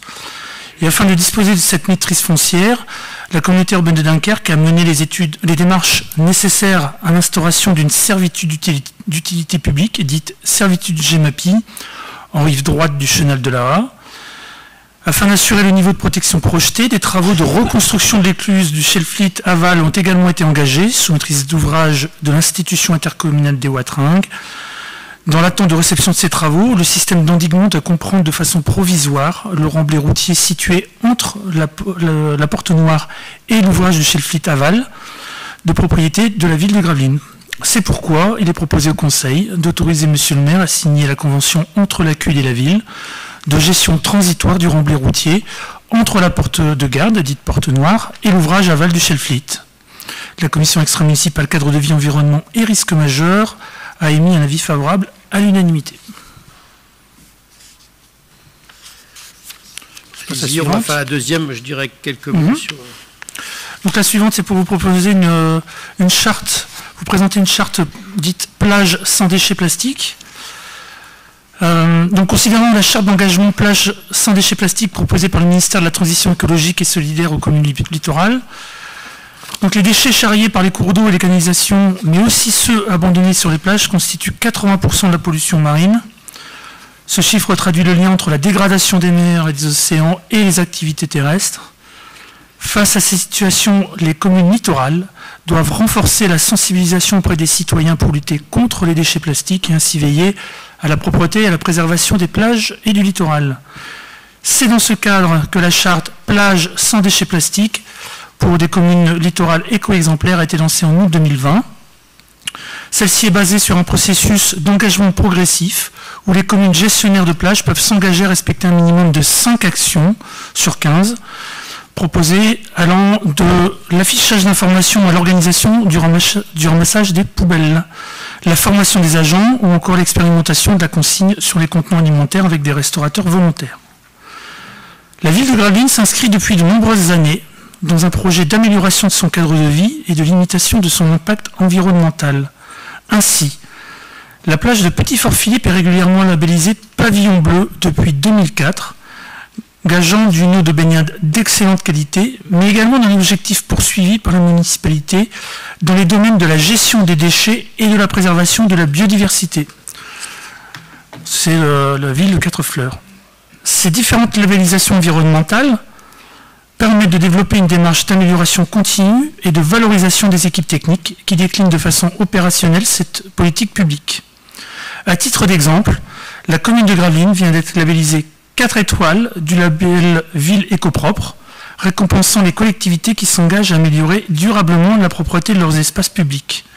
Elle est la seule commune de France de cette strate, c'est-à-dire de moins de 20 000 habitants, à atteindre 4 étoiles. C'est pourquoi il est proposé au Conseil d'autoriser M. le maire à signer la charte plage sans déchets plastiques en respectant cinq engagements dès la saison 2022, avec pour objectif d'augmenter progressivement ce nombre dans les années à venir. La commission extra-municipale cadre de vie, environnement et risque majeur a émis un avis favorable à l'unanimité. Merci M. Notbar. Sur les travaux du Chelvlit, pour l'instant, on est dans les, délais. Hein. Il y a eu une réunion sur place avec le, sous-préfet. Hein. Donc ce sont des travaux qui sont portés par l'institution des, des d'un montant quand même de presque 3 millions d'euros. Hein. Donc c'est quand même des travaux tout à fait euh, euh, significatifs. L'objectif c'est fin septembre, hein, tout début octobre, d'avoir, terminé hein, et de remettre le, système en, fonctionnement. Ça, je voulais donner cette précision. Sur les chars, ben, on est remis en, cause régulièrement. Là, on a le jury de la quatrième fleur qui vient prochainement c'est le 19 juillet, me précise-t-on. Donc le 19 juillet, ben, nous allons être audités euh, une nouvelle fois, c'est tous les trois ans. Donc euh, pour savoir si nous allons garder ou pas cette quatrième fleur, donc les services sont sur le pied de guerre pour euh, faire en sorte que ben, voilà, on soit vraiment au top pour. il, est une, il est une chose d'avoir la, quatrième fleur, et il en est une autre de la garder à chaque fois et longtemps. On a aussi obtenu la quatrième étoile, ville, ville propre, je tenais aussi à le dire. Et puis sur la plage, on a le pavillon bleu des plages, hein, je rappelle. Hein. Parfois, il y France 3 qui avait oublié, mais je tiens à leur rappeler qu'il y a Berck et Gravelines, Petit Fort, qui sont, qui sont pavillon bleu, pavillon bleu des, euh, euh, plages. Et nous aurons demain le guide Michelin pour euh, les 100 plus beaux détours de France. nous en faisons partie, hein, vous le savez donc qui viennent demain matin pour nous auditer. Donc ils vont regarder par rapport à la situation antérieure ce qui a changé. Ils, font tout un travail de comparaison et d'évolution et voir si on a pris aussi en compte leurs préconisations. Vous souhaitez rajouter quelque chose, M. Nandbar Oui, par rapport aux quatre étoiles sur les villes propres, pour aller à la cinquième étoile, il est nécessaire d'aller impliquer les acteurs privés. Et ça tombe bien, puisque vous savez que nous venons de finir un défi zéro déchet avec les particuliers. On compte l'élargir aux professionnels l'année prochaine. Et donc, ça va servir justement pour aller chercher la cinquième étoile. Je, je, voulais dire ça pour montrer que tout ça avait une, cohérence ensemble. Tout à fait. Dans le domaine euh, environnement, il y a aussi donc le, plan vélo hein, qui avance bien. Je voudrais quand même rappeler qu'on a 150 arceaux, 85 places couvertes et 170 places sécurisées sur la commune. Ah, il faut désormais que tout le monde utilise ces places euh, sécurisées. je vois que dans l'Assemblée, euh, certains euh, adhèrent à, ce que je viens de dire. Et donc, pour ce faire, il faut récupérer la carte passe-passe. Il faut en parler autour de vous. Cette carte est délivrable en mairie et activée 48 heures après. Avec cette carte, vous pouvez rentrer votre vélo et faire en sorte de le retrouver lorsque vous avez fini les activités que vous avez programmées. Il faut que ça serve, hein. il faut que ce soit utile. Donc euh, voilà, c'est un, il faut que chacune et chacun s'adapte à ces nouveaux modes de déplacement. Hein. On doit progresser euh, euh, dans ce domaine. Ça progresse, mais on mesurera régulièrement les, les effets de, cette politique. Voilà, nous passons au chapitre aménagement travaux avec, vous savez que le, plan local d'urbanisme est en, en débat et donc bah, nous relançons la mécanique pour notre euh, magasin Intermarché, les mousquetaires de la distribution. Monsieur Villemot. Merci, monsieur le maire.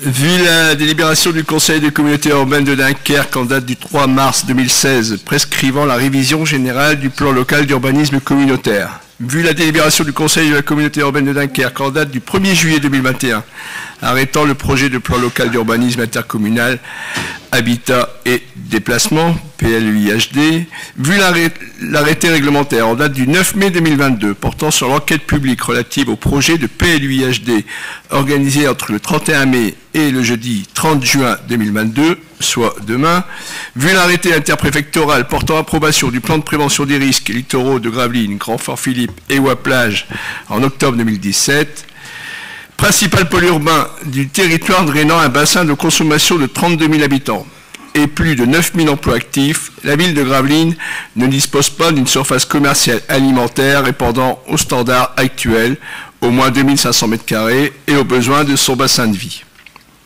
C'est pourquoi la municipalité a proposé dès 2012 à la, à la communauté urbaine d'ouvrir l'urbanisation dans le cadre de l'élaboration du plan local d'urbanisme communautaire, les terrains jouxtant la RD 11 et la RD 660 sur une superficie de 7 hectares.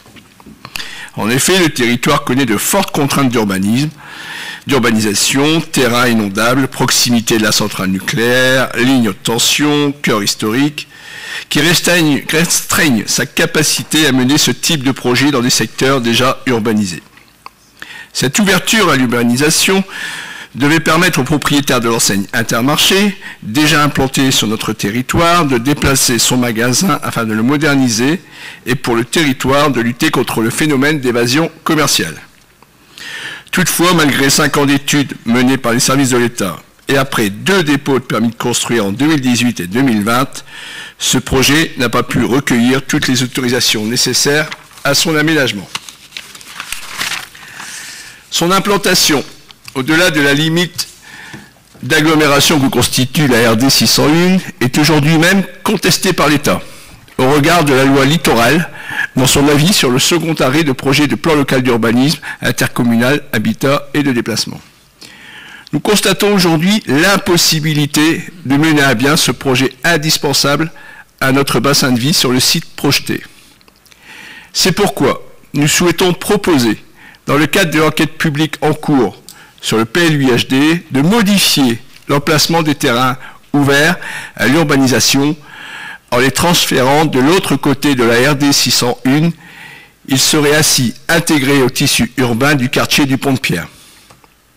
Il est à, préciser que ces terrains étaient déjà identifiés comme zone projet dans le plan de prévention des risques littoraux approuvé par le préfet en 2017. Le plan ci-contre qui est projeté sur, l'écran rend compte de cette proposition de modification. En mauve, vous y voyez l'assiette foncière destinée au projet inscrit à ce jour dans le PLUIHD, arrêté. En bleu, les parcelles déjà constructibles. Et en vert, les parcelles que nous proposons à l'urbanisation en compensation de la fermeture de la zone actuelle, en mauve sur le plan.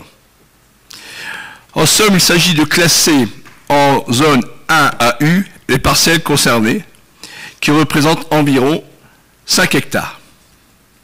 L'objectif sera d'aménager sur cette emprise un projet mixte incluant une surface commerciale et des logements répondant aux objectifs fixés par le territoire dans le projet d'aménagement et de développement durable. Et ainsi, mais également dans l'orientation d'aménagement programmatique logement. En effet, dans le cadre de la révision du PLUIHD, le Conseil de communauté a débattu des orientations générales du PADD. Expression du projet de territoire communautaire, il porte les grandes orientations d'aménagement du territoire qui doivent constituer le socle à sa déclinaison opérationnelle dans le plan de zonage, le règlement et les orientations d'aménagement et de programmation. Ainsi, concevoir un projet mixte sur un secteur bénéficiant d'une accroche urbaine plus importante au sein du quartier du Pont-de-Pierre répondra davantage aux objectifs de promotion d'une agglomération attractive où il fait bon vivre et d'une agglomération vertueuse de proximité. Il permettra en outre d'aboutir à une insertion urbaine et paysagère que nous souhaiterons exemplaire à travers la qualité des espaces publics et des aménagements, l'accessibilité par des modes doux et la mutualisation des surfaces de stationnement etc., etc. Concernant le rapport de compatibilité avec l'OAP logement, l'OAP logement, la rotation d'aménagement et de programmation, celle-ci prévoit la production de logements de qualité pour tous au service de l'attractivité, de l'agglomération, en territorialisant les objectifs de construction neuf, par secteur. Proposer une offre de logement complémentaire concourra à répondre à l'objectif de production diversifiée de logements dans les communes urbaines au regard des emplois et des facilités de déplacement qu'elles concentrent. En effet, le dynamisme de l'emploi généré par les projets du grand port maritime de Dunkerque devrait assurément créer de nouveaux besoins en logement sur la partie ouest de l'agglomération. Enfin, dans l'attente d'une orientation d'aménagement et de programmation sectorielle définissant plus précisément les conditions d'aménagement, notamment les accès, la qualité architecturale, urbaine et paysagère, nous proposons qu'un périmètre d'antenne, d'attente, de projet d'aménagement global soit adossé à l'intégralité de la zone. En conséquence, il est proposé au Conseil d'autoriser le maire ou l'élu délégué à soumettre au nom du Conseil municipal cette demande à la commission d'enquête publique. Voilà, Monsieur le maire. Merci, Monsieur Villemot. un dossier à, rebondissement. Hein. On, reste euh, motivé, même si je ne vous cache pas qu'on a été quand même déçu euh, de l'attitude de certains services hein, au niveau national. Hein. Bon, j'ai l'occasion de le dire au, préfet hein, en direct. Euh, bon, voilà, celui-ci est conscient que voilà, on a un peu été induit euh, en erreur quand même sur tout cela. Et puis il y avait quand même eu des engagements de prix qui n'ont pas forcément été tenus. Donc voilà, donc on baisse pas les bras car on peut pas laisser le magasin dans cet état à l'endroit où il est parce que voilà, à un moment donné, il y, a, des conditions de travail des salariés. Euh, il est quand même sous les lignes électriques pour euh, l'aspect parking. Bon, voilà, c'est pas un endroit qui correspond, je dirais, à, l'image qu'on souhaite euh, donner de notre ville hein, avec le développement qu'il va y avoir. donc l'idée, c'est vraiment de faire un magasin, 2000-2500 mètres carrés, uniquement un magasin, comme l'a dit Daniel Villemot. Donc comme vous le savez, les uns les autres, le, propriétaire actuel de l'Intermarché euh, va céder ou a cédé son établissement. Donc c'est des repreneurs qu'il convient maintenant de convaincre de faire ce projet. Hein. Donc euh, bon, ils, ont l'air motivés. Je les ai, je les ai rencontrés. Euh, bon, pour autant, bon voilà, il y a, une discussion qu'on va devoir engager avec l'Adréal, qui est installé sur, sur site, et puis avec l'opérateur privé également, et puis avec quelques terrains agricoles que vous pouvez découvrir sur, euh, sur cette parcelle. Mais c'est la seule solution que l'on ait pu trouver euh, d'alternative. Il n'y en a pas d'autre. Compte tenu aussi des complexités maintenant pour construire, avec cette règle de zéro artificialisation nette, c'est-à-dire que vous, urbanisez un hectare, vous devez renaturer un hectare. Donc euh, voilà, donc euh, l'urbanisation à outrance, c'est terminé. Euh, donc il faut à chaque fois compenser. Encore faut-il pouvoir compenser. Donc ça, c'est vraiment un, sujet.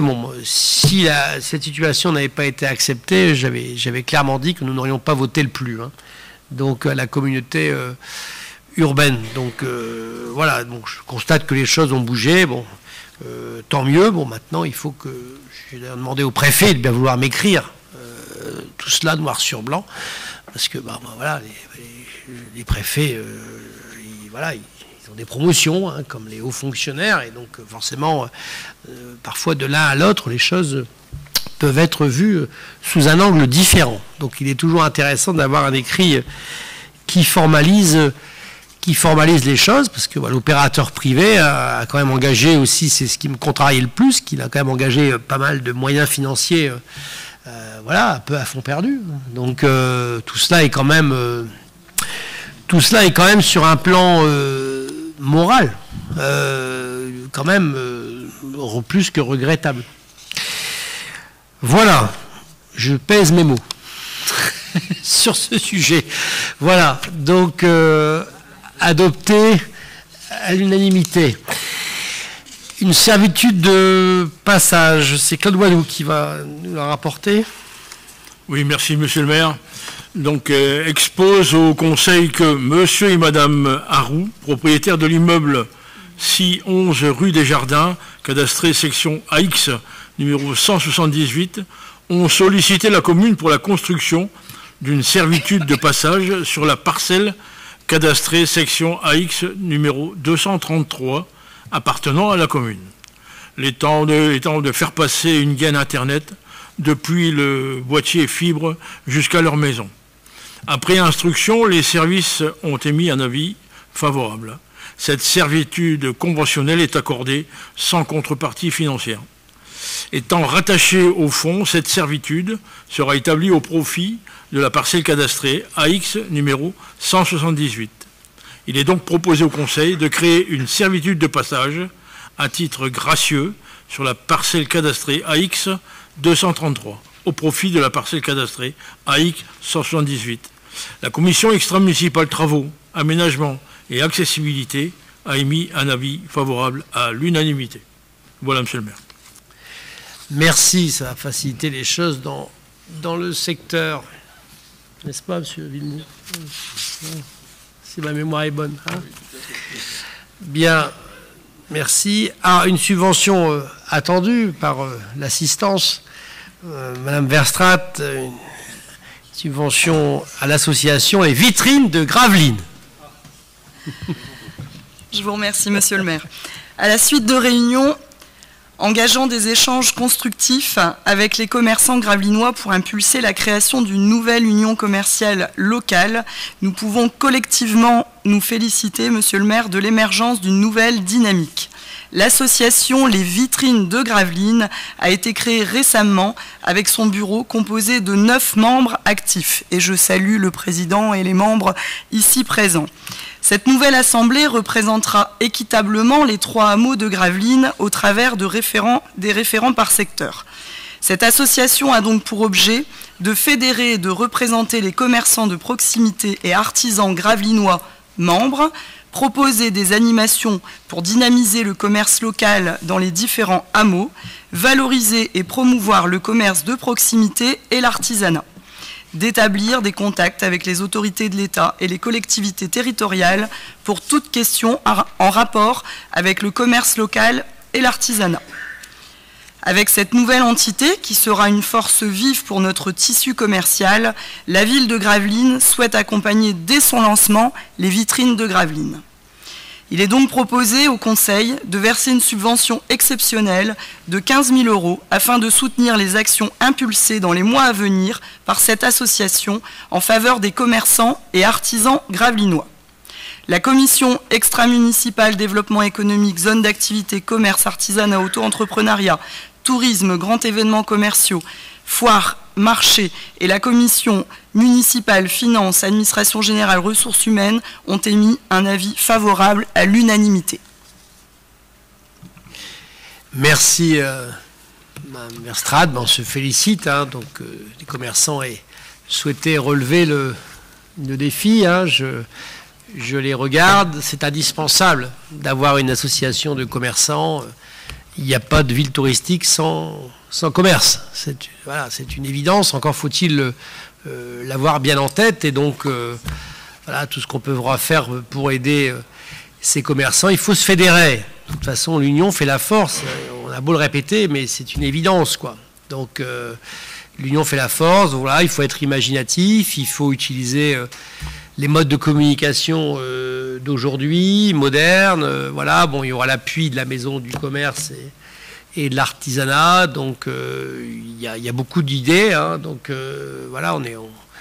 je pense qu'on prendra encore d'autres initiatives. C'est indispensable pour que nous ayons une ville accueillante, avec tout ce qui va se passer aussi en termes d'importation économique. Il faut vraiment qu'on soit à la hauteur de toutes celles et ceux qui vont venir travailler sur Gravelines, hein, qui vont arriver sur Gravelines. Je pense qu'il faut vraiment intégrer, intégrer ça. SNF, dans, un an et demi, deux ans, c'est 200 personnes en plus qui travaillent là, hein, SNF. Hein. ils, vont, venir sur Gravelines. donc il faut très vite donner des, signaux comme quoi il y a des commerces et tout ça. Sinon, après, ils prennent d'autres habitudes. Euh, après, ce sera Vercors, Vercors 2025. Euh, Vercors, 1500, 1000, 1500, 2000, 2500 personnes. Je ne sais pas si on, a du mal à s'imaginer. Hein.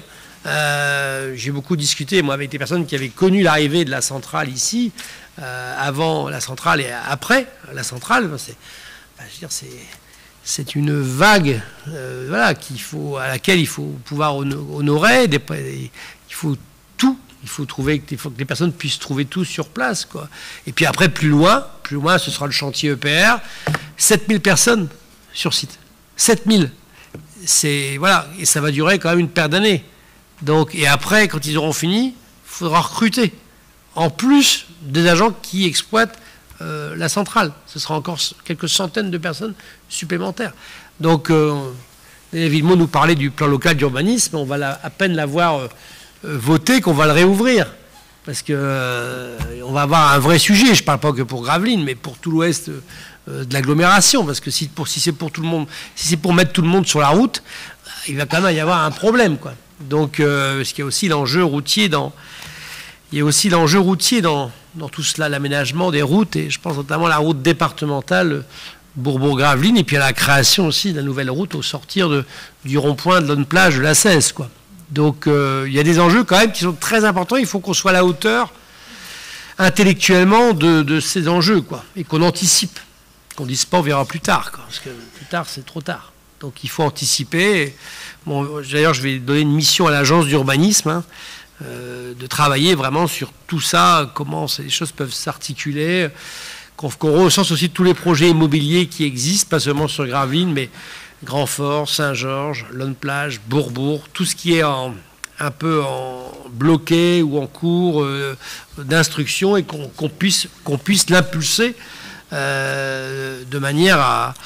Il va falloir déverrouiller la construction quand même par rapport à la situation que nous allons, vivre ici. Euh, voilà, en tout cas, donc très heureux de cette création des vitrines de, de Gravelines bah, bon vent dans l'accompagnement, Madame Verstrat, de cette belle association. Voilà, donc euh, nous passons au chapitre action sociale avec euh, deux délibérations importantes, euh, l'une par Madame Bossard et l'une par Madame Bleuet. Madame Bossard. Merci, Monsieur le maire.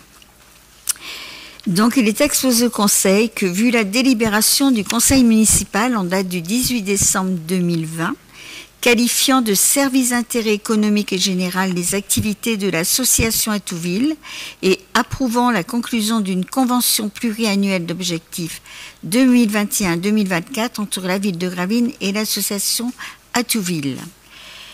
La convention pluriannuelle d'objectifs conclue le 21 janvier 2021 précise en son article 3 que le montant de la subvention, qui consiste en une compensation financière visant à couvrir tout ou partie des coûts de mise en œuvre du projet d'intérêt économique et général est fixé par voie d'avenant. L'axe 7 de la Convention 2022, dénommé l'été, les ACM d'été, centres aérés, Proposer des accueils de loisirs durant trois semaines au lieu de six semaines les années précédentes. En cette année 2022, et au regard du nombre de demandes des familles, il est prévu d'octroyer une subvention complémentaire de 30 000 euros afin de couvrir les coûts de mise en œuvre des trois nouvelles semaines d'accueil. Donc, conformément à l'article 9 de cette convention, un avenant a donc été rédigé pour l'exercice 2022 afin d'actualiser le budget prévisionnel et le montant de la subvention. Donc, nous proposons au Conseil de contribuer financièrement au projet à Touville par l'octroi d'une subvention complémentaire d'un montant de 30 000 euros, de signer un avenant 2 à la Convention 2021-2024 conclue avec l'association Touville la Commission municipale Finances et Administration Générale Ressources Humaines a émis un avis favorable à l'unanimité.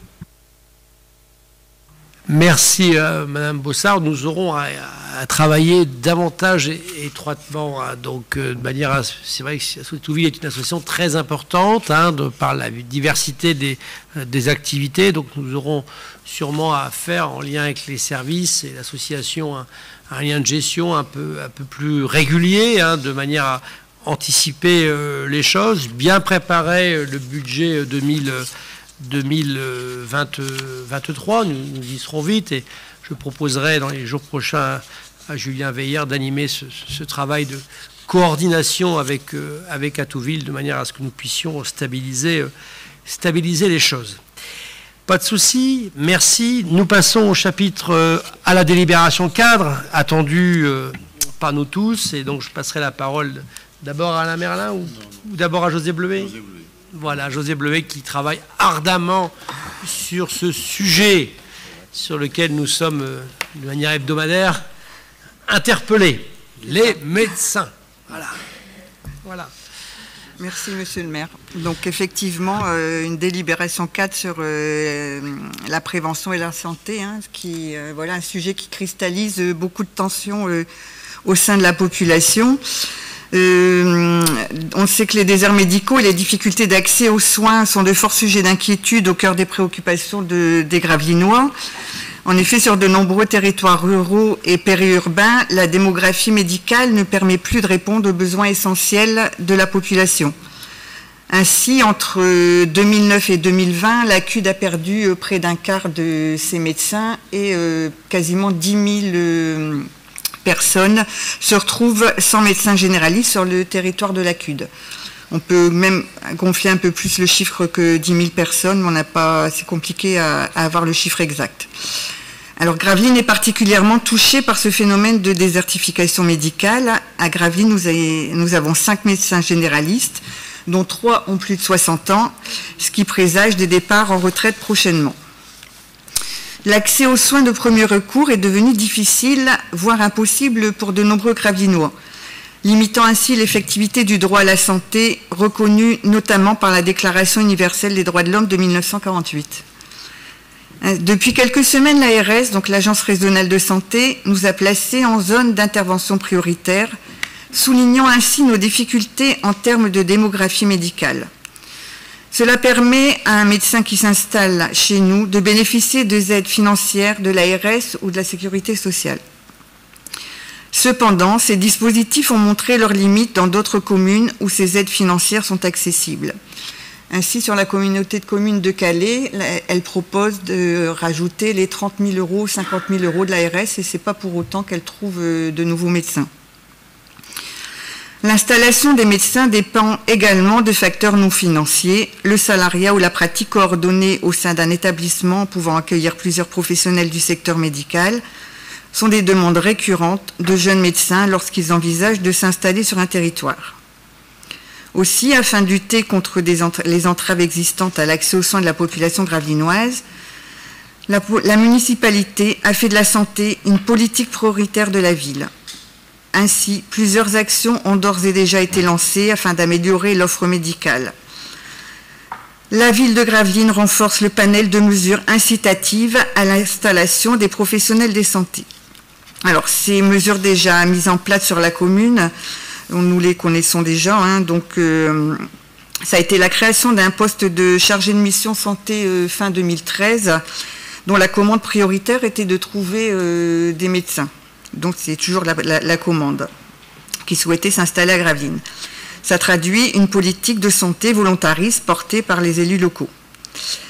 Ainsi, nous avons développé un, panel de, mesures en faveur de la santé, avec par exemple la création des cabinets tremplins au Hutte et à Petit-Fort, pour faciliter l'installation de jeunes médecins généralistes, la mise en location de l'éco-communaux pour les médecins, euh, pour les anciens médecins qui étaient euh, place de l'église et qui sont maintenant installés rue du collège, l'accompagnement des professionnels de santé en activité et en projet d'installation, des rencontres trimestrielles pluriprofessionnelles de santé, des, ateliers d'éducation thérapeutique du patient autour du diabète, la mise à disposition d'un logement à destination des étudiants en médecine générale et des médecins remplaçants, la journée d'accueil des étudiants en médecine en stage sur le Dunkerquois et l'installation d'une cabine de téléconsultation qui réalise en moyenne 150 consultations par mois.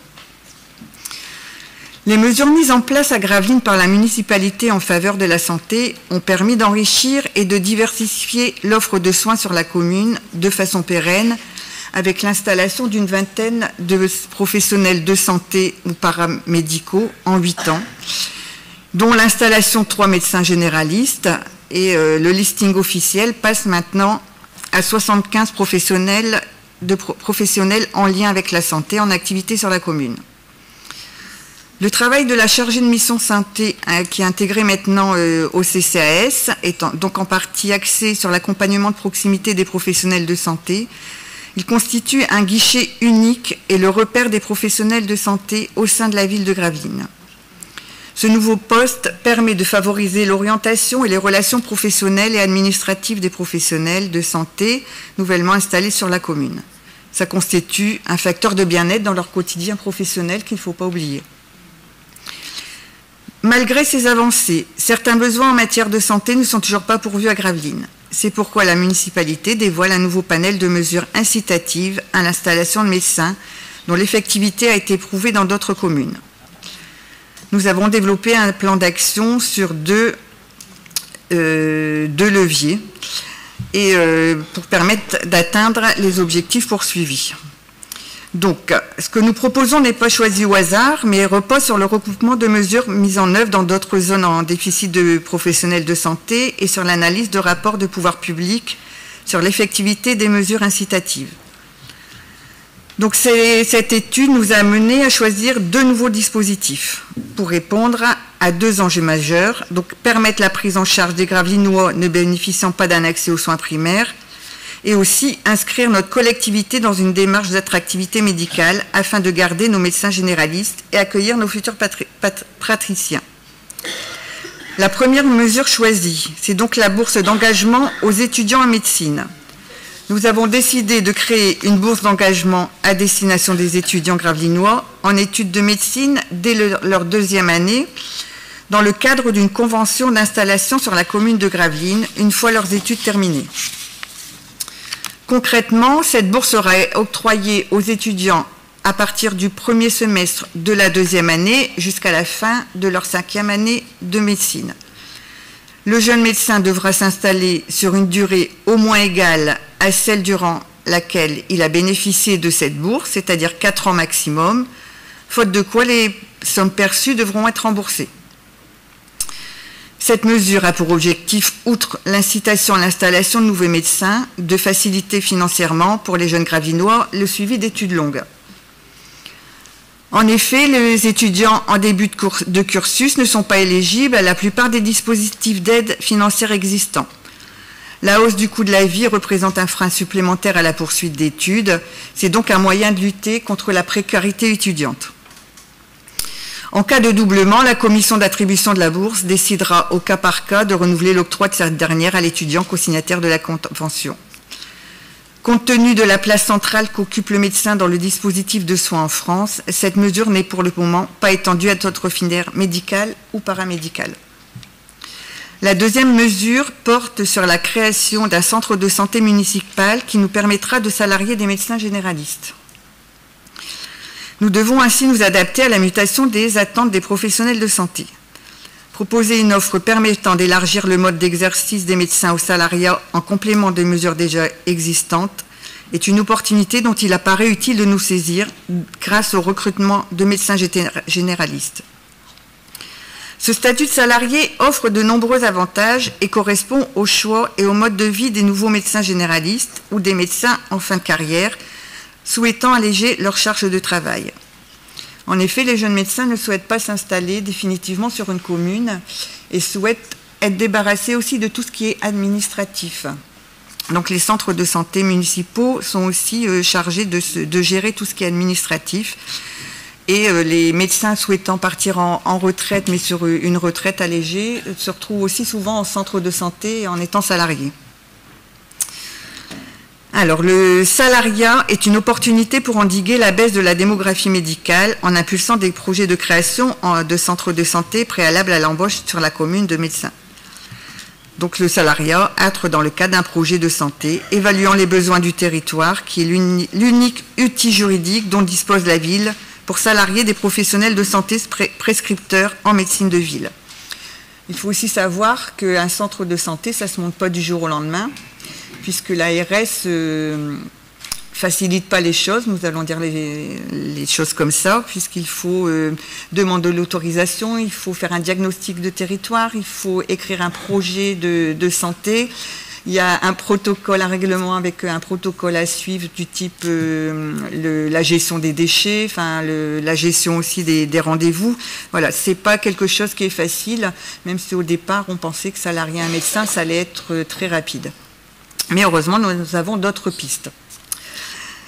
Euh, donc un centre de santé est une structure sanitaire de proximité ouverte à tout public et qui pratique le tiers payant sans dépassement d'honoraires.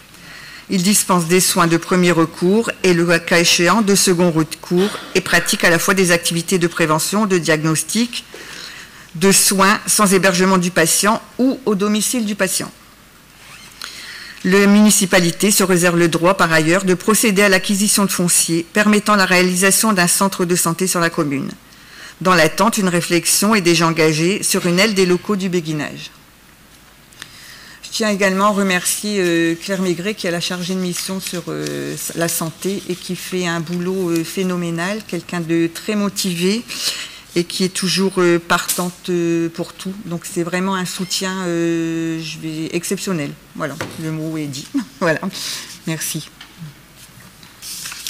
Merci de votre application sur ce sujet, sûrement un des plus complexes hein, que nous avons à gérer au niveau de la, de la commune, et un des sujets aussi où il y a le plus d'attentes, hein. donc notamment par rapport aux personnes âgées qui sont vraiment un peu paniqué, disons-le, hein, en l'absence de médecins. Donc euh, voilà, donc ils se tournent vers nous. Et, bon, voilà, c'est un gros, gros travail. Je pense que M. Malin, vous souhaitiez. Non, non, je vais revenir après dessus. Ah, vous souhaitez dans pas dans le compte administratif, d'accord. Donc vous avez bien retenu en complément de tout ce qu'on a déjà fait, les cabinets tremplins, euh, de tout ce qu'on a fait par le passé. On attribue des bourses aux, jeunes gravelinois qui euh, atteignent la deuxième année de médecine, donc euh, jusqu'à leur cinquième année inclus. Donc on n'a pas encore déterminé le montant, mais ce sera quand même significatif hein, pour que ce soit incitatif. Donc euh, ça a été fait à Vesoul et ça a fonctionné. J'ai rencontré le maire de Vesoul qui, bon, c'était fait à l'échelle de la communauté de communes de Vesoul et non pas au niveau de la commune. Ça a fonctionné. Ils ont même réussi à avoir un, quelqu'un de la commune qui est devenu ophtalmologiste et qui s'est installé, euh, installé à Vesoul. Donc bon, ça a même été au-delà des médecins généralistes, mais ils ont même eu des médecins spécialistes. Bon, c'est de longue haleine. Hein, donc euh, voilà, c'est pas pour demain. Et puis, bah, on arrive à ce qu'on avait déjà évoqué dans ce conseil, c'est-à-dire à salarier des, à salarier des, médecins. Donc, on va faire encore un nouveau métier. Euh, Je n'avais pas imaginé qu'on salarierait des médecins euh, un jour, mais voilà, bah, c'est ainsi va la vie. Euh, comme je disais, euh, sous forme de boutade à mon premier adjoint, on fait bien la poste maintenant, bah, on, fait la police, maintenant on fait les médecins. voilà, donc, on a déjà éventuellement une candidature d'une personne qui voudrait travailler un peu, hein, quelques heures par mois. donc on essaie de trouver une solution pour que ça aille assez vite, pour donner un peu d'air c'est le, cas de le, dire. Après, il y a une réflexion au niveau de l'agglomération de la communauté urbaine qui se fait. le département du Pas-de-Calais est allé très loin aussi. Ils ont salarié des médecins. Vous avez vu à Ouaplage, il y a des médecins qui sont arrivés salariés par le département du, Pas-de-Calais. J'ai posé la question au président Poiret du Nord. Alors, et nous, le Nord, qu'est-ce qu'on fait? Il y a même des régions qui interviennent. J'ai vu Carole Delga, en, Occitanie, euh, aussi se, faisait des actions concrètes euh, au niveau de la, santé.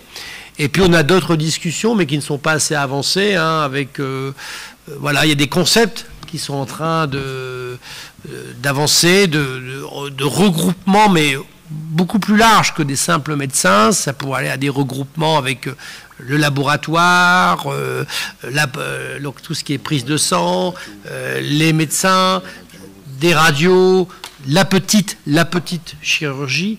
Voilà, il y a aussi ce concept-là. parce que Gravelines, c'est pas que Gravelines, c'est les rives de là, donc c'est quand même 30, 40 000 habitants, donc il peut y avoir un intérêt à avoir euh, euh, un équipement, euh, non pas la, polyclinique, mais quelque chose de, de d'intermédiaire, de, petite taille qui pourrait prendre sa place ici et avoir, avoir du sens.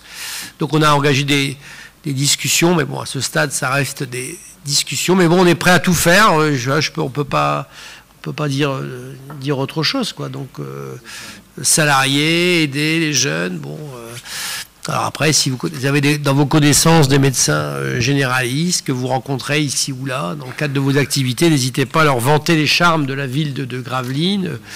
C'est une action collective, l'attractivité. Donc il faut que chacun relaye. Euh, il faut que chacun relaye, hein, donc un maximum. Voilà pour cette délibération CAS. Je pense qu'on sera tous d'accord. Je vous en remercie. Les comptes, bah, le compte de gestion, bon voilà, c'est les comptes du receveur, donc forcément, on va dire qu'on va être d'accord, hein. cher Julien Veillard. voilà, je synthétise. Euh, pour Entremont, bah, on sera d'accord aussi, hein, Madame euh, Deneville, c'est les comptes du, euh, c'est les comptes du receveur. Le receveur qui est Dunkerquois désormais, vous savez, nous n'avons plus de perception à, à Gravelines. La perception à Gravelines maintenant est remplacée par le CIVOM. Le CIVOM va s'installer dans les locaux de la perception de Gravelines. On aura l'occasion d'inaugurer ça dans quelques temps. Voilà, donc euh, les comptes de gestion 42-43 sont adoptés. Donc nous arrivons au compte administratif 2021 et comme le veut la, coutume, la tradition, euh, les principes, je vais donc quitter la, quitter la, séance, puisque bah, voilà, en tant qu'ordonnateur de cette collectivité, vous allez juger euh, ma gestion quelque part, et je vais laisser le soin à mon premier adjoint de faire en sorte que cette gestion soit euh, appréhendée euh, positivement, hein, monsieur. voilà, tout à l'heure, hein, tout à l'heure. C'est le premier adjoint. Bien, merci, monsieur le maire. Bah, écoutez, bah, sans transition, j'ai passé la, la, parole à, notre collègue Julien Veiller hein, pour la présentation du compte administratif 2021. Merci Monsieur le Président. Chers collègues, donc le compte administratif 2021 s'inscrit pour la ville de Gravelines. Il faut, euh, il faut rappeler les fortes contraintes budgétaires imposées par, euh, à notre commune sous la forme d'un prélèvement sur la fiscalité directe par l'État et sur la fiscalité reversée par la CUD. Donc chaque année, nous euh, perdons, entre guillemets, 5,6 millions d'euros, et aussi bien en 2020, 2021, et ça va continuer sur euh, les années à venir. Il faut également rappeler que l'année 2020 a été marquée par la gestion de la crise Covid, avec pour conséquence une diminution de moins 3,51% des dépenses de fonctionnement entre 2019 et 2020. Par conséquent, si l'on compare l'année 2021 à celle de 2020, nous constatons forcément une hausse des dépenses de fonctionnement de plus 1,94%, puisque la collectivité a repris son rythme de croisière d'avant Covid. Mais si nous comparons à l'année 2019, année de fonctionnement dite normale, l'évolution 2019-2021 est de moins 1,64%. C'est-à-dire que nous répondons aux attentes de l'État, d'une part puisque nous maîtrisons nos dépenses de fonctionnement, qui sont bien inférieures à 1,2%, puisque nous sommes en négatif, et d'autre part notre besoin de financement est stabilisé avec un ratio de désendettement bien en deçà des 12 années, puisque notre capacité de désendettement pour l'année 2021 est de 3,6 années. Sur la dette, l'encours de la dette au 31 décembre 2021 est de 21 116 000 euros contre 21 36 000 euros en 2020. Pour rappel, au 31 décembre 2000, la dette était de 47,2 millions d'euros. Concernant la section de fonctionnement et l'évolution des dépenses réelles de fonctionnement, comme nous l'avons exposé en introduction, nous allons analyser le compte administratif 2021 en comparaison avec les années 2019 et 2020, mais plutôt sur les années 2019 puisque l'année 2020 étant tronquée par la Covid. Sur les dépenses réelles 2021, 53 912 000 euros ont été dépensés, soit 1,94% de plus par rapport au CA 2020 et moins 1,64% par rapport au CA 2019. Sur le chapitre 11, sur les charges à caractère général, par rapport à 2019, nous sommes en, hausse de 134 000 euros. Par rapport à 2020, c'est une hausse de 1 96 000 euros, mais l'année 2020 a été entachée par un arrêt brutal de nos activités, moins 597 000 euros en fêtes et cérémonies, par la fermeture de nos bâtiments, moins de fluides, moins d'entretien, et par la mise en œuvre du télétravail, donc moins de déplacements et le report des, formations pour les agents municipaux. Et avec quelques restrictions liées à la Covid au premier semestre 2021, et notamment les jauges pour les spectacles, la commune a finalement repris ses activités et ses dépenses courantes avec des dépenses qui se rapprochent de celles de l'année 2019. Concernant le chapitre 12, les charges de personnel, par rapport à 2019, le CA 2021 affiche une baisse de 62 000 euros, dont 60 000 euros en heures supplémentaires. Par rapport à 2020, c'est une hausse de 194 000 euros, dont 30 000 euros en heures supplémentaires. Il est à rappeler qu'en 2021, la valeur, horaire du SMIC, la valeur horaire du SMIC a augmenté de 3,26% par rapport à janvier 2020. Donc 10,48 euros contre 10,15 euros en 2020. Sur le chapitre 65, nous avons moins 70 000 euros par rapport à 2020, avec les efforts qui ont été demandés aux grosses associations, notamment moins 50 000 euros qui a été euh, absorbé par Agir, moins 182 000 euros aux associations sportives et une hausse pour les petites associations de plus 89 000 euros, ainsi que 197 000 euros qui ont été donnés au CCAS. L'analyse du chapitre 67, moins 150 000 euros par rapport à 2020, la subvention de la commune à la régie est en baisse de 200 000 euros par rapport à 2020, dont 100 000 euros pour la mise à disposition de personnel. Concernant l'évolution des recettes de fonctionnement, celle-ci présente une légère augmentation entre 2020 et 2021 qui s'explique principalement par la dynamique des bases d'imposition puisque la vente des produits et de services est stabilisée, elle, autour de 1,3 million d'euros. Les, recettes réelles 2021 s'élèvent donc à 60 9 000 euros, soit plus 0,74 par rapport au CA 2020. Sur l'analyse du chapitre 73, sur l'imposition directe, Conformément à l'article 29 de la loi de finances pour 2021, 50% de nos bases fiscales industrielles sont exclues du vote des taux pour être basculées au chapitre 74 sous forme d'allocation compensatrice. Ainsi, en 2019, avec les différents prélèvements, il restait en recette pour la commune 13 887 119 euros et en 2021, ça a dégringolé à 2 885 726 euros. Donc c'est une baisse très significative des impôts locaux qui est synonyme d'une baisse de pouvoir des taux. Nous avons également subi une perte progressive de la fiscalité reversée par la communauté urbaine. Globalement, la fiscalité reversée a baissé de 432 840,69 euros entre 2020 et 2021. Sur l'analyse du chapitre 74, donc les 50% des bases industrielles étant désormais compensées par une allocation versée par l'État, le chapitre 74, lui, a fortement évolué, mais cette manne, certes importante, est exclue du vote des taux. Donc pour conclure sur euh, les impôts locaux, l'évolution des impôts locaux entre 2020 et 2021 est en augmentation de 871 794 euros en dynamique de base, puisque les taux des taxes foncières sont inchangés depuis 2001. Concernant les cessions sur l'année 2021, nous avons eu la vente de la crèche située au 46 rue avenue, enfin 46 avenue Léon Jouot pour 155 000 euros. Diverses parcelles d'espace vert pour 17 000 euros. Du matériel nautique pour 36 000 euros. Des véhicules pour 27 600 euros.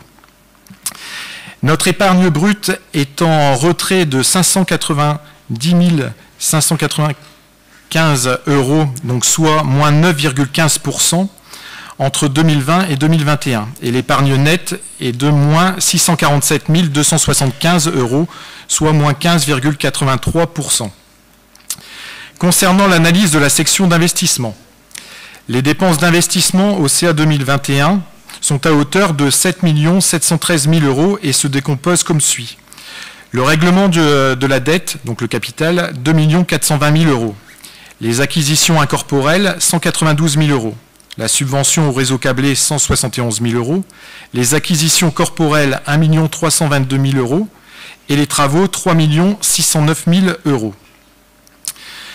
Les crédits ouverts en 2021, donc le budget primitif plus les reports antérieurs et les opérations nouvelles, s'élevaient à 11 119 000 euros.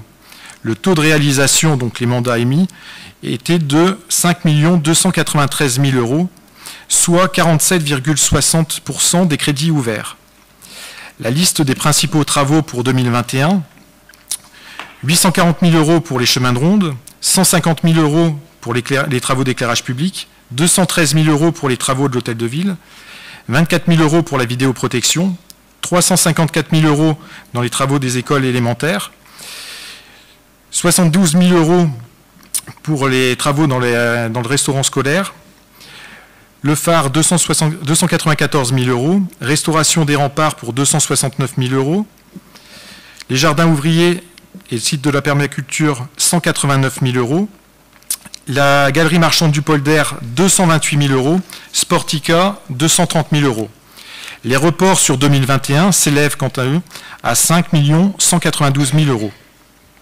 La liste des principaux reports de crédit sur 2022 l'aménagement paysager des chemins de ronde pour 933 000 euros, les acquisitions foncières pour 434 000 euros, matériel de transport autour 219 000 euros, il s'agit en fait de quatre véhicules pour les services techniques, abri vélo pour 453 000 euros, les travaux et matériel pour les restaurations scolaires 117 000 euros, le phare 440 000 euros, la poudrière du marquis d'Asfeld, 460 000 euros.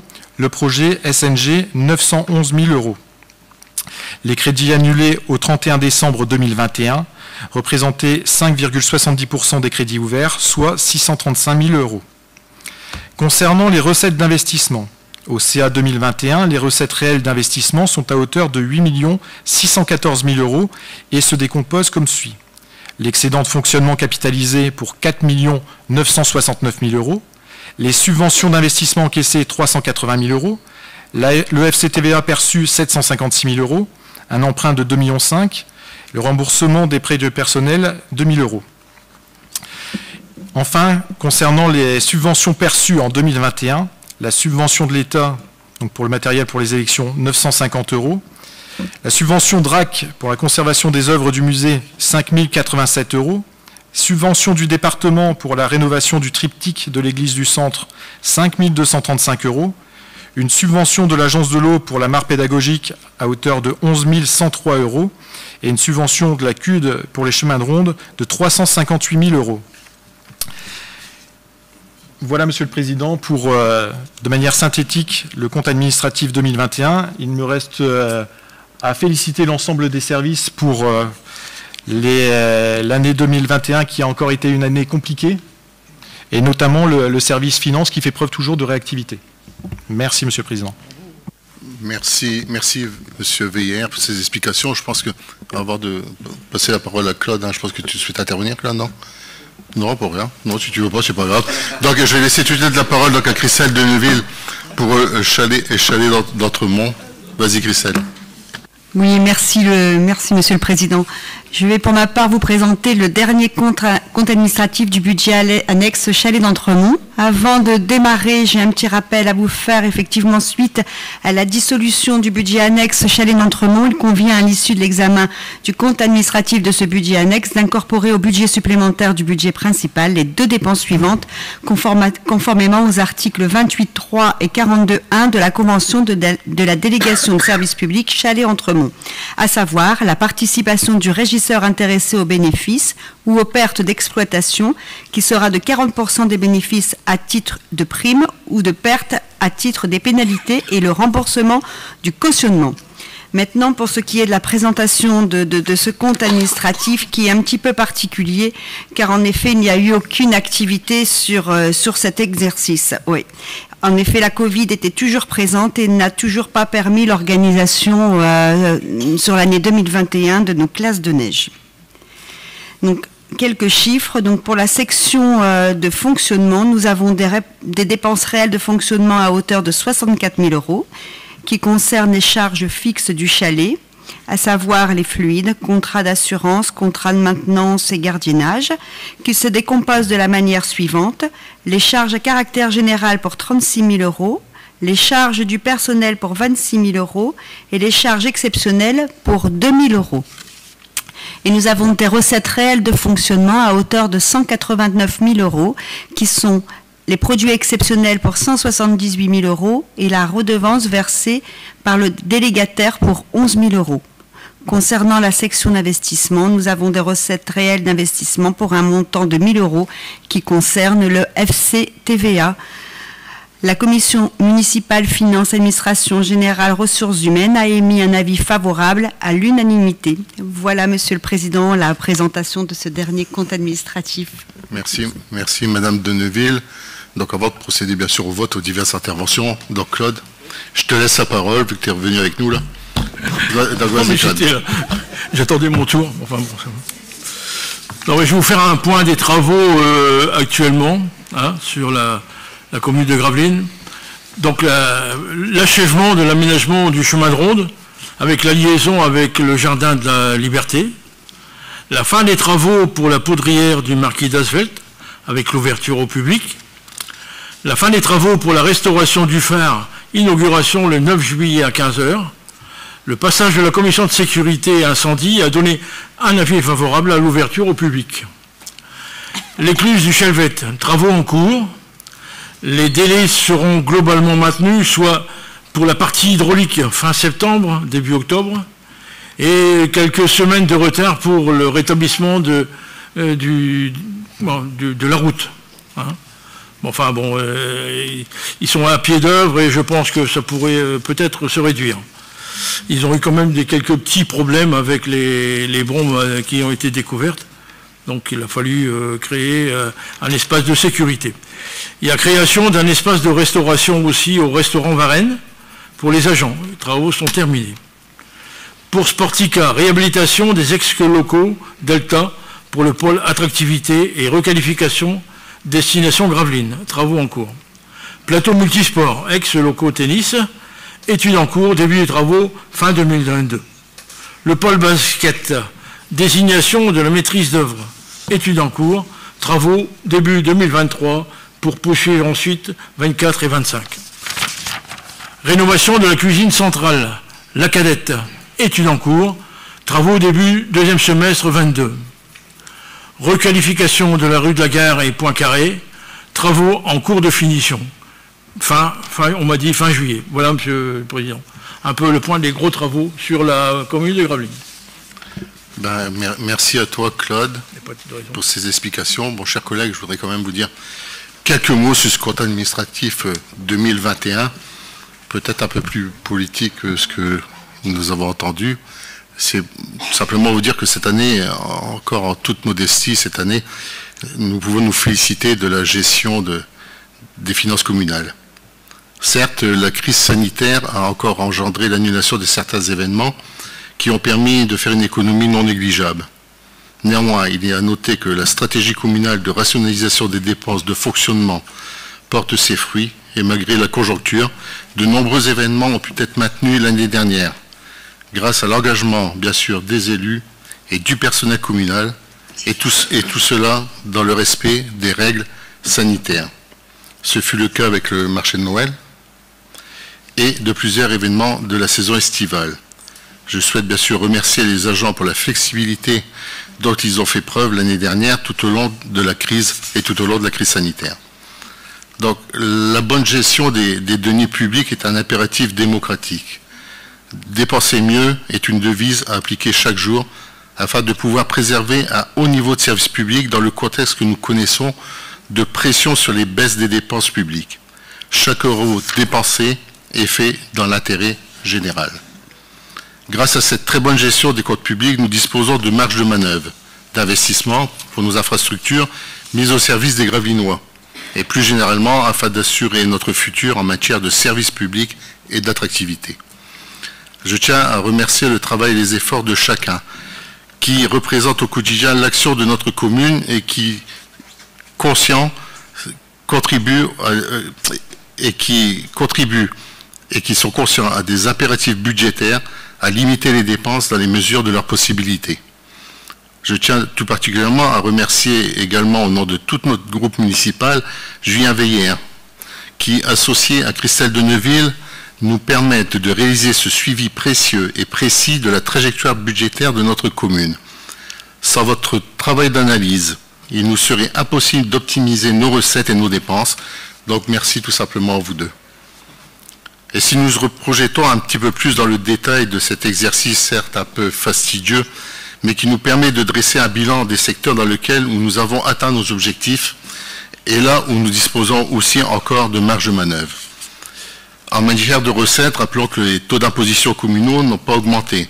Nous n'avons jamais relevé le niveau d'imposition depuis 2001, malgré les baisses de dotation de l'État et de l'inflation. Le pouvoir des achats des Gravelinois est bien là une de nos priorités. Nous ne ferons appel aux contribuables locaux que si cela devient absolument nécessaire. Espérons-le le plus tard possible. Toutefois, dans le contexte international et la guerre en Europe, ont engendré l'explosion du coût de l'énergie qui a déjà des répercussions importantes sur nos dépenses de fonctionnement. Des efforts supplémentaires sur ces coûts de fonctionnement seront donc à prévoir. C'est une des raisons pour lesquelles la municipalité s'engage à rénover certaines infrastructures, telles que Sportica, afin d'améliorer l'efficacité énergétique des bâtiments communaux. Nous pouvons aussi nous réjouir de la baisse du taux d'endettement de notre commune, puisque cette année encore, l'exercice budgétaire est excédentaire. Quelques projets économiques sont à venir sur notre commune, tels l'implantation de SNF. C'est le résultat du travail des élus et des agents qui font de notre ville qu'elle soit toujours plus attractive pour les travailleurs bien sûr, mais aussi pour les entreprises. Les rentrées fiscales de cette stratégie permettent de maintenir la pression fiscale stable et garantir une très haute qualité de service aux habitants. En section de fonctionnement, la hausse des dépenses réelles n'augmente que très légèrement, malgré le recours aux heures supplémentaires dans certains services dus et au fait de la pandémie. Nous nous félicitons bien sûr du travail accompli dans ce domaine. En section d'investissement, la hausse reflète des projets dans lesquels la municipalité s'est engagée, mais largement couvert par les excédents de fonctionnement. La réalisation des divers travaux entrepris n'a donc pas grévé les finances communales. De grands projets ont été réalisés en matière de culture et, et dans la mise en œuvre de notre patrimoine. Le phare, emblème incontestable à Gravelines, a retrouvé sa splendeur. Le chemin de ronde totalement réalisé sera bientôt inauguré, de même que les travaux engagés sur la poudrière. Outre la protection de notre patrimoine et la préservation du, du passé historique de Gravelines, tous ces travaux sont nécessaires pour préserver l'activité de notre commune en matière de tourisme, condition indispensable à la bonne santé économique de nos commerces locaux. Nous avons également beaucoup investi pour les infrastructures sportives la base du char à voile avec un nouvel espace pour des personnes à mobilité réduite, le parc avec du nouveau matériel, le centre nautique, infrastructure sportive bien ancrée dans notre ADN, qui est là aussi avec l'acquisition de matériel nouveau pour assurer aux usagers la meilleure sécurité possible. D'importants investissements ont été aussi réalisés dans les équipements scolaires, pour n'en citer que deux. Hein. Entre les écoles élémentaires et les restaurations scolaires, ce sont plus de 420 000 euros qui auront été investis. Dans le domaine de l'action publique, la commune continuera son investissement pour nous équiper de bornes électriques, ainsi que dans le domaine de la vidéoprotection pour la sécurité de nos habitants. Nous pourrions également mentionner les investissements en matière de santé avec l'installation d'une télécabine de téléconsultation qui permet à plus de 150 consultations par mois. Nous pourrions aussi encore lister des travaux et des réalisations que nous avons menés. Julien Veillère et Claude Wadou nous les ont rappelés. Alors, pourquoi tant d'actions de notre Père Simplement que nous essayons d'anticiper les besoins de chacun. Anticiper n'est-ce pas, là le sens même de l'action publique que nous devons avoir? L'avenir de Gramine sera marqué par plusieurs grands chantiers structurants sur notre commune. Par exemple, Sportica Nouvelle Génération est un projet qui sera au service des habitants. Les retombées économiques et l'amélioration des services rendus sont la contrepartie à long terme d'un effort financier que nous aurons à mener pour quelques années. Il était plus que nécessaire de rénover cette infrastructure vieillissante les améliorations des bilans énergétiques du bâtiment permettra à diminuer les charges de fonctionnement. Enfin, pour terminer, euh, je ne voudrais pas terminer mon propos sans parler de la santé qui nous occupe tous les jours et, compléter un petit peu les, propos de José. Alors, ce conseil municipal, nous avons dévoilé notre stratégie. D'abord, par la création d'une bourse d'engagement pour les étudiants en médecine et le salariat des médecins fait par la municipalité. Ceci aura un coût sur les finances locales. Mais la santé des Gravinois, pour nous, n'a pas de prix. Combien d'entre nous sommes éloignés du travail ou du bonheur en général par faute d'accès aux soins? Une simple lecture comptable ne suffit pas toujours à mesurer la rentabilité d'un tel investissement pour la santé de tous et le bien-être de tous. Donc nous devons agir face à l'incapacité de l'État à réguler l'installation des médecins sur notre territoire. Nous prenons acte de nos engagements et acceptons aujourd'hui d'agir face à ce désengagement. Relever le défi pour le bien-être des autres est là aussi un engagement municipal que nous avons tenu et que nous tenons pour le bien-être et la vie de, chacun d'entre nous. Enfin, pour terminer ce propos, pour conclure, avec l'ensemble de notre groupe à souligner l'action de M. le maire de Gravelines et de l'ensemble des équipes au quotidien. Grâce à son dévouement pour notre ville, il se met au service de la bonne gestion des comptes de la commune dont il est le garant, et devant les exigences d'une mission publique locale d'excellence. Cette rétrospective le démontre encore une fois s'il y avait encore lieu de pouvoir le, devoir le, démontrer. Donc voilà, chers collègues, tout simplement ce que je voulais vous dire.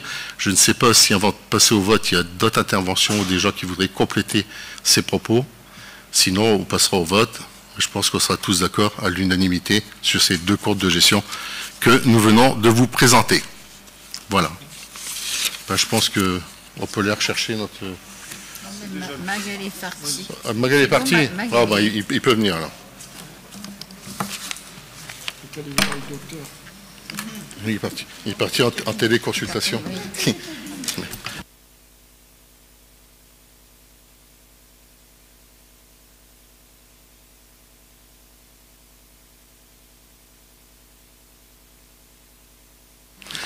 Voilà, Monsieur le maire, le contrat administratif 2021 a été approuvé à l'unanimité. Donc je vous repasse la présidence de cette séance au point 44. Merci, monsieur le premier adjoint, de votre efficacité. Voilà. Bien, merci de votre confiance, chers, chers collègues. Merci au rapporteur des finances aussi, Julien Veillère, qui a, je suis sûr, avec beaucoup de pédagogie, vous a expliqué euh, les comptes de la, euh, de la commune. Et je l'en remercie ainsi que les services des finances, Julie Deberg et l'ensemble de son service avec la direction générale euh, des services. Bien, donc euh, à la... L'affectation des résultats, c'est pour toi. D'accord. Donc nous passons donc à la 45. La 45, oui, c'était le, c'était Christelle, Christelle Deneville qui a rapporté. Hein. Voilà, donc je la salue. Et donc euh, nous affectons les résultats, donc la 46 euh, du budget annexe, ce sera le dernier. chalet annexe d'Entremont. Oui, merci Monsieur le maire. Donc, concernant l'affectation des résultats de l'exercice 2021 du budget annexe Entremont, donc à la clôture de l'exercice 2021, le résultat cumulé de fonctionnement s'établit par un excédent de 75 432,91 euros. Pour la section d'investissement, le résultat 2021 se traduit par un déficit de 706,98 euros. Il n'y a pas de reste à réaliser, ni en recettes, ni en dépenses. Il est proposé au conseil municipal d'incorporer ces résultats au budget supplémentaire du budget principal de la commune. La commission municipale, finances, administration générale, ressources humaines, a, émis un avis favorable à l'unanimité. Voilà, monsieur le maire. Merci. Madame Deneville, donc adopté, pas de souci, merci. La 47, donc l'affectation cette fois-ci des résultats de la ville. Monsieur Veillère. Merci, monsieur le maire. Donc à la clôture de l'exercice 2021, le résultat de la section de fonctionnement s'établit à 5 451 813,65 euros. Pour la section d'investissement, le résultat 2021 se traduit par un excédent de 3 290 441,80 euros. Compte tenu des restes à réaliser en dépenses à hauteur de 5 191 813,88 euros et des restes à réaliser en recettes à hauteur de 769 808,12 euros, le résultat d'investissement cumulé se clôture par un déficit de 1 131 563,96 euros. Comme Christelle vient de le préciser, il convient de réintégrer l'excédent de la section de fonctionnement du budget annexe Chalet d'Entremont de 75 432,91 euros, ainsi que le déficit d'investissement pour 706,98 euh, euros. Je n'ai pas l'habitude des petits chiffres.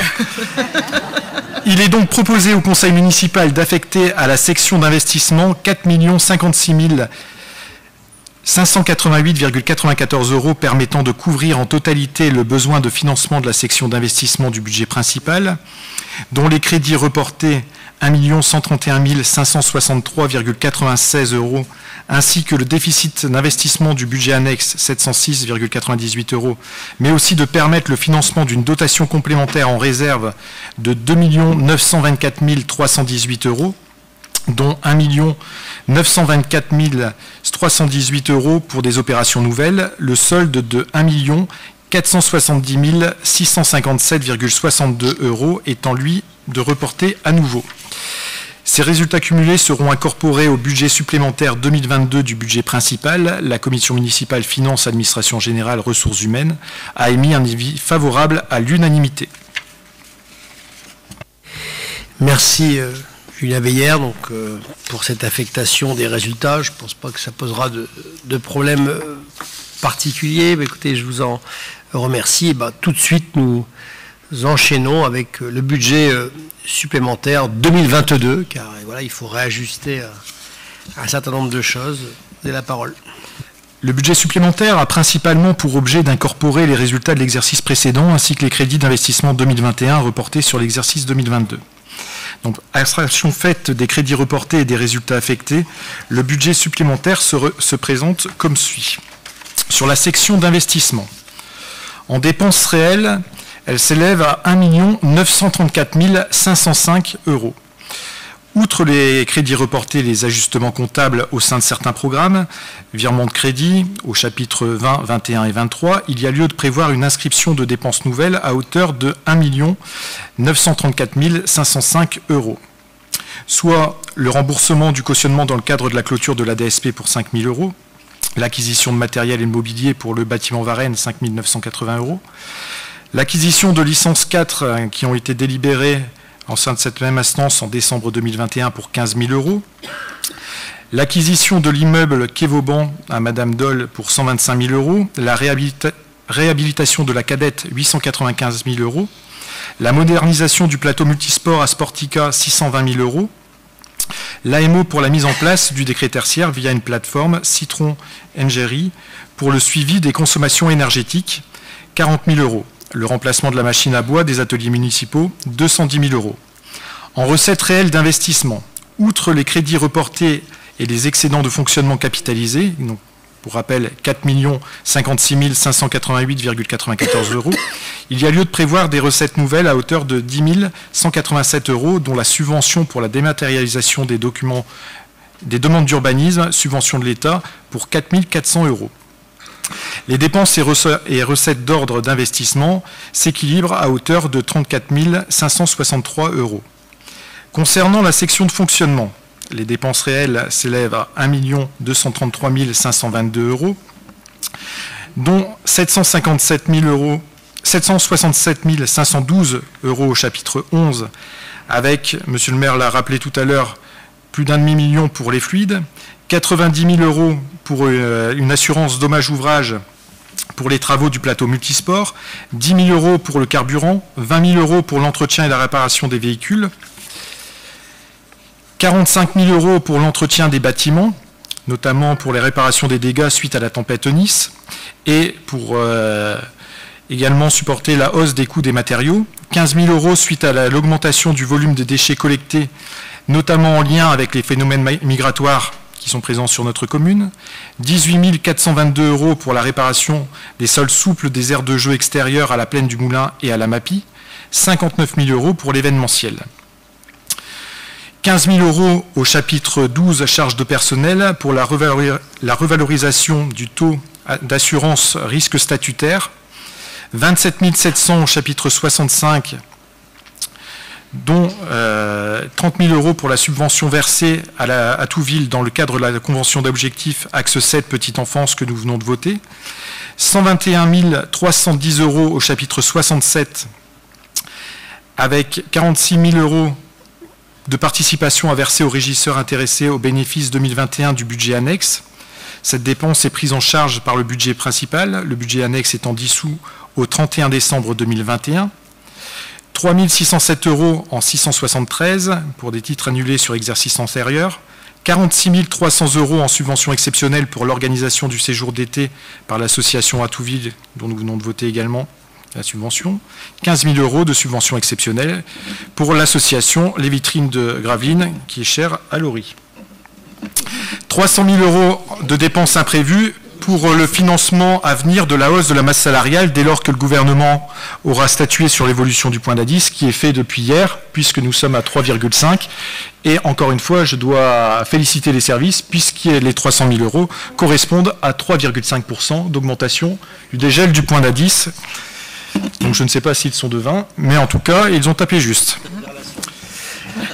Recette réelle, donc 287 526 euros donc avec en atténuation de charge 1311 euros, 23 798 au chapitre 70, produits et services, moins 218 191 euros au chapitre 73, impôts et taxes, puisque l'attribution de la compensation euh, au vu du prélèvement effectif d'un tiers de la fiscalité au profit de la CUD, conformément au pacte fiscal et financier de solidarité, sera de 347 363 euros, alors que nous avions prévu 58 269 euros au BP 2022.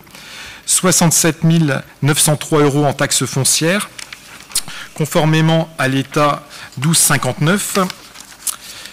Sur le chapitre 74, 450 793 euros qui correspondent pour la, majeure partie à 437 739 euros l'allocation compensatrice pour la taxe foncière sur le bâti, notamment les locaux industriels et sur le non bâti, 600 euros au chapitre 75, 24 215 euros au chapitre 77, et nous n'avons pas d'ordre de, de fonctionnement, de dépenses et de recettes d'ordre de fonctionnement, qui s'établissent à 0 euros. La commission municipale Finances, Administration Générale, Ressources Humaines a émis un avis favorable à l'unanimité. Il est donc proposé au Conseil d'adopter ce budget supplémentaire. Merci euh, Julien Veillère. Donc, que c'est très synthétique, hein. ça permet vraiment d'avoir une, vision de, ce qui a augmenté, etc. et globalement, il y a plus de dépenses nouvelles que de recettes nouvelles. Donc, je ne vous cache pas que le budget primitif 2023 va nécessiter euh, quelques débats et de nouveaux arbitrages si nous voulons maintenir une capacité d'investissement euh, euh, comme nous l'avons imaginé. Donc, ça passera par des nouvelles réductions des dépenses de, de fonctionnement. C'est indispensable parce que là, on n'est même pas en année pleine sur ce qu'on a évoqué sur certains postes. Les fluides Et la masse salariale, même si c'était un rattrapage, on peut regretter que ça n'a pas été fait euh, de manière régulière, 0,5 par 0,5 un peu tous les ans, parce que là, c'est en une seule fois, donc il faut l'absorber. Euh, globalement, on ne va pas être loin du million d'euros supplémentaires en dépenses, hein, donc sur ce volet-là, plus les fluides. Comme ça, à boule pour point, on est déjà à un million et demi de dépenses nouvelles. Donc, euh, bah, il va y avoir un souci. Hein. Donc, il va falloir à un moment donné revoir remettre encore, euh, remettre encore se remettre encore au travail sur, euh, pour imaginer euh, des solutions. Sinon, on, on va mordre, et ce n'est pas l'objectif, vous le savez, dans la capacité d'investissement. Et nous ne pourrons pas réaliser ce qui a été imaginé donc, et qui est nécessaire. Donc, bon voilà, c'est quand même des nouvelles qui vont peser. Bon, les maires de France on réclamait aussi au gouvernement de ne pas euh, revenir à nouveau sur les allocations pour les collectivités, parce qu'il y a cette annonce d'alléger encore les finances des industriels avec l'allègement de la taxe foncière, et donc euh, compenser, mais jusqu'à quand? Donc, euh, bon, il y a un certain nombre de sujets qui vont générer quand même de gros débats à la rentrée, à la rentrée de septembre pour l'élaboration du projet de loi de finances 2023. Euh, donc, euh, mais bon, voilà, donc ça, on ne peut pas agir dessus, mais il faut que nous, on regarde ce qu'on peut faire encore euh, en termes structurels.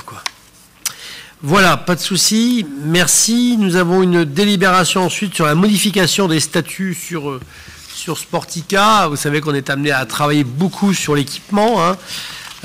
Voilà, l'enjeu il est simple, hein, c'est de moderniser pour arriver ensuite à terme à baisser la participation de la ville, qui faut-il le rappeler, ce chiffre à 3 millions d'euros par an. Donc euh, c'est une somme qui est considérable et donc euh, il faut qu'on arrive à moderniser l'équipement pour réduire cette, somme. Et donc pour ce faire, on, regarde tous les aspects et un des aspects qu'on a regardé, de ville concerne l'objet social. Je vous laisse le soin de l'expliquer. Oui, merci Monsieur le maire. Effectivement, c'est on affaire à la modification des statuts de la régie gravinoise des équipements de sport et de loisirs. Par un rapport délibéré le 23 juillet 2019, la Chambre régionale des comptes a préconisé à la ville de Gravelines de clarifier le régime juridique et comptable de l'équipement Sportica utilisé par la régie gravinoise des équipements de sport et de loisirs. La Chambre a ainsi rappelé que le montage d'une affectation de l'équipement à, la régie retenue dans ces statuts consiste en un transfert provisoire à cette dernière de l'actif immobilisé de la commune. À ce titre, les biens affectés doivent, en qualité de support de l'activité industrielle et commerciale de la régie, être pris en charge et financés, investissement et amortissement, par l'affectataire.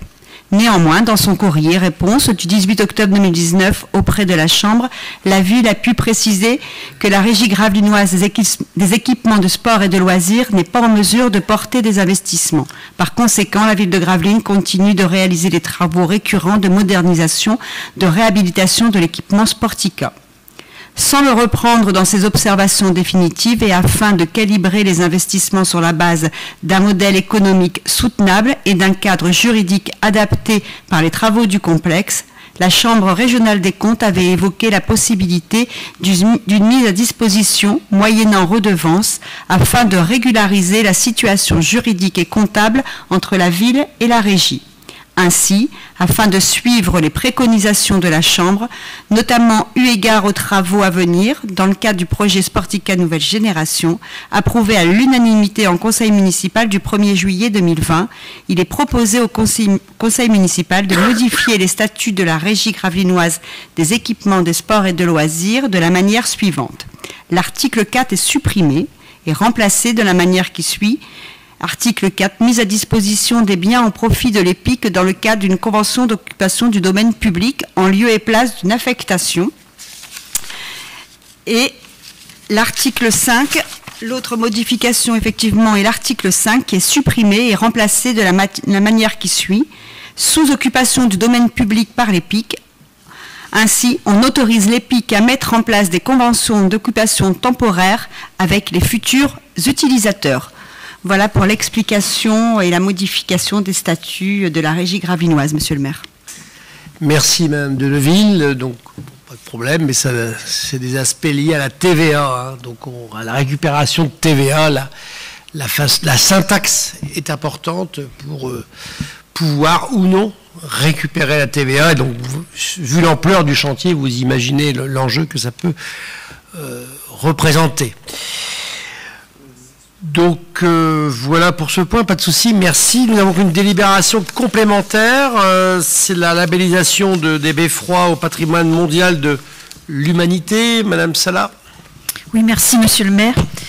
Les villes propriétaires d'un beffroi du bien sériel, beffroi de Belgique et de France, doivent répondre aux obligations liées à l'inscription sur la liste du patrimoine mondial de l'UNESCO en mettant en place une démarche de plan de gestion. Le plan de gestion constitue le projet scientifique et culturel du bien et porte sur les thématiques de la protection, de la conservation, de l'aménagement urbain, de la valorisation et de la coopération, ceci afin d'assurer le maintien de la valeur universelle et exceptionnelle de ce bien. Après l'élaboration du plan de gestion pour lequel la ville de Gravelines a contribué financièrement à hauteur de 1500 euros en 2017 et 2018, il s'agit désormais de mettre en œuvre les actions validées par l'ensemble des collectivités propriétaires de Beffroi, la ville de Gravelines approuvant également, également les axes de travail du plan de gestion. En 2022 et en 2023, des rapports périodiques pour les beffrois seront établis. Les axes prioritaires seront les suivants recensement des objets mobiliers, protection au titre des monuments historiques en faveur d'un classement, développement d'un propos commun sur les valeurs du patrimoine mondial, élaboration d'outils partagés, sensibilisation des élus et techniciens au patrimoine mondial, inventaire des perspectives majeures indispensables au maintien de la valeur universelle exceptionnelle, charte d'engagement des gestionnaires, définition du rôle des référents locaux. L'État, à travers les services de la Direction régionale des affaires culturelles des Hauts-de-France, a souhaité confier à l'association Beffroi du patrimoine mondial la conduite du plan de gestion. Une subvention pour les années 2022 et 2023 est donc sollicitée par l'association Beffroi Patrimoine Mondial à hauteur de 1500 euros par an. Il est donc proposé au conseil municipal que la ville de Gravelines, propriétaire d'un des beffrois du bien sériel, contribue financièrement par subvention exceptionnelle de 1500 euros en 2022 à l'association Beffroi Patrimoine Mondial et reconduit cette subvention en 2023 sous réserve de l'inscription des crédits au budget. Je vous remercie. Merci Mme Salah. Oui, nous restons dans la dynamique, même si j'avais été un petit peu chagriné euh, que la ville d'Arras quitte l'association régionale des, des villes fortifiées. Donc, de ce fait-là, j'avais mis un peu en stand-by notre euh, adhésion à, l'association parce que je considérais qu'il fallait une forme de, réciprocité. Nous sommes au Beffroi, ils sont aux villes fortifiées. Je pense qu'il faut être ensemble sur tous les sujets, les Beffrois et euh, les villes fortifiées. Pour autant, là, le dossier est relancé, donc nous allons participer et puis nous redébattrons le, cas échéant de l'adhésion ou non à, l'association euh, régionale.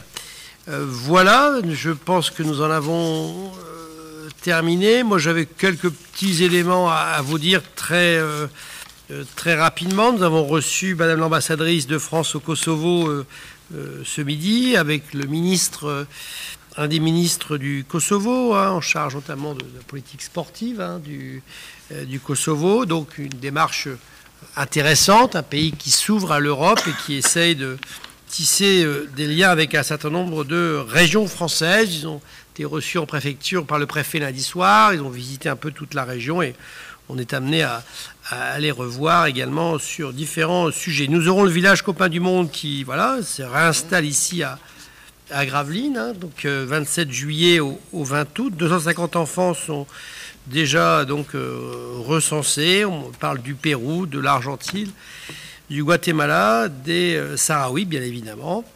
Nous aurons un événement aussi attendu avec la mise à l'eau du Dracar. Ce sera ce week-end, euh, ce samedi à, Petit Fort Philippe. Celles et ceux qui veulent ramer sont les, bienvenus. Hein. Donc voilà, l'objectif c'est de porter le Dracar euh, au-delà des, au-delà des digues euh, du chenal. Hein. Donc voilà, donc il faut quand même souquer ferme, comme le disait Christian De Vos. Nous avons eu un repas qui s'est bien passé des aînés au Touquet qui a recueilli quand même 546 euh, participants qui étaient heureux de se, de se retrouver. Nous ne pourrons pas, hein, nous en avons débattu récemment, nous ne pourrons pas organiser comme chaque année le repas de fin d'année à, Sportica et donc la décision que nous avons prise. Et, certains commerçants sont encore présents et je les en remercie, c'est de transformer ce repas en bon d'achat chez les commerçants euh, gravelinois pour nos amis les, les, aînés.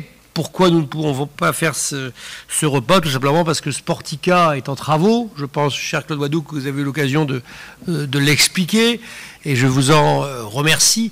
Et donc, nous allons faire cette opération ça permettra de toucher tous les aînés, y compris ceux qui ne venaient pas.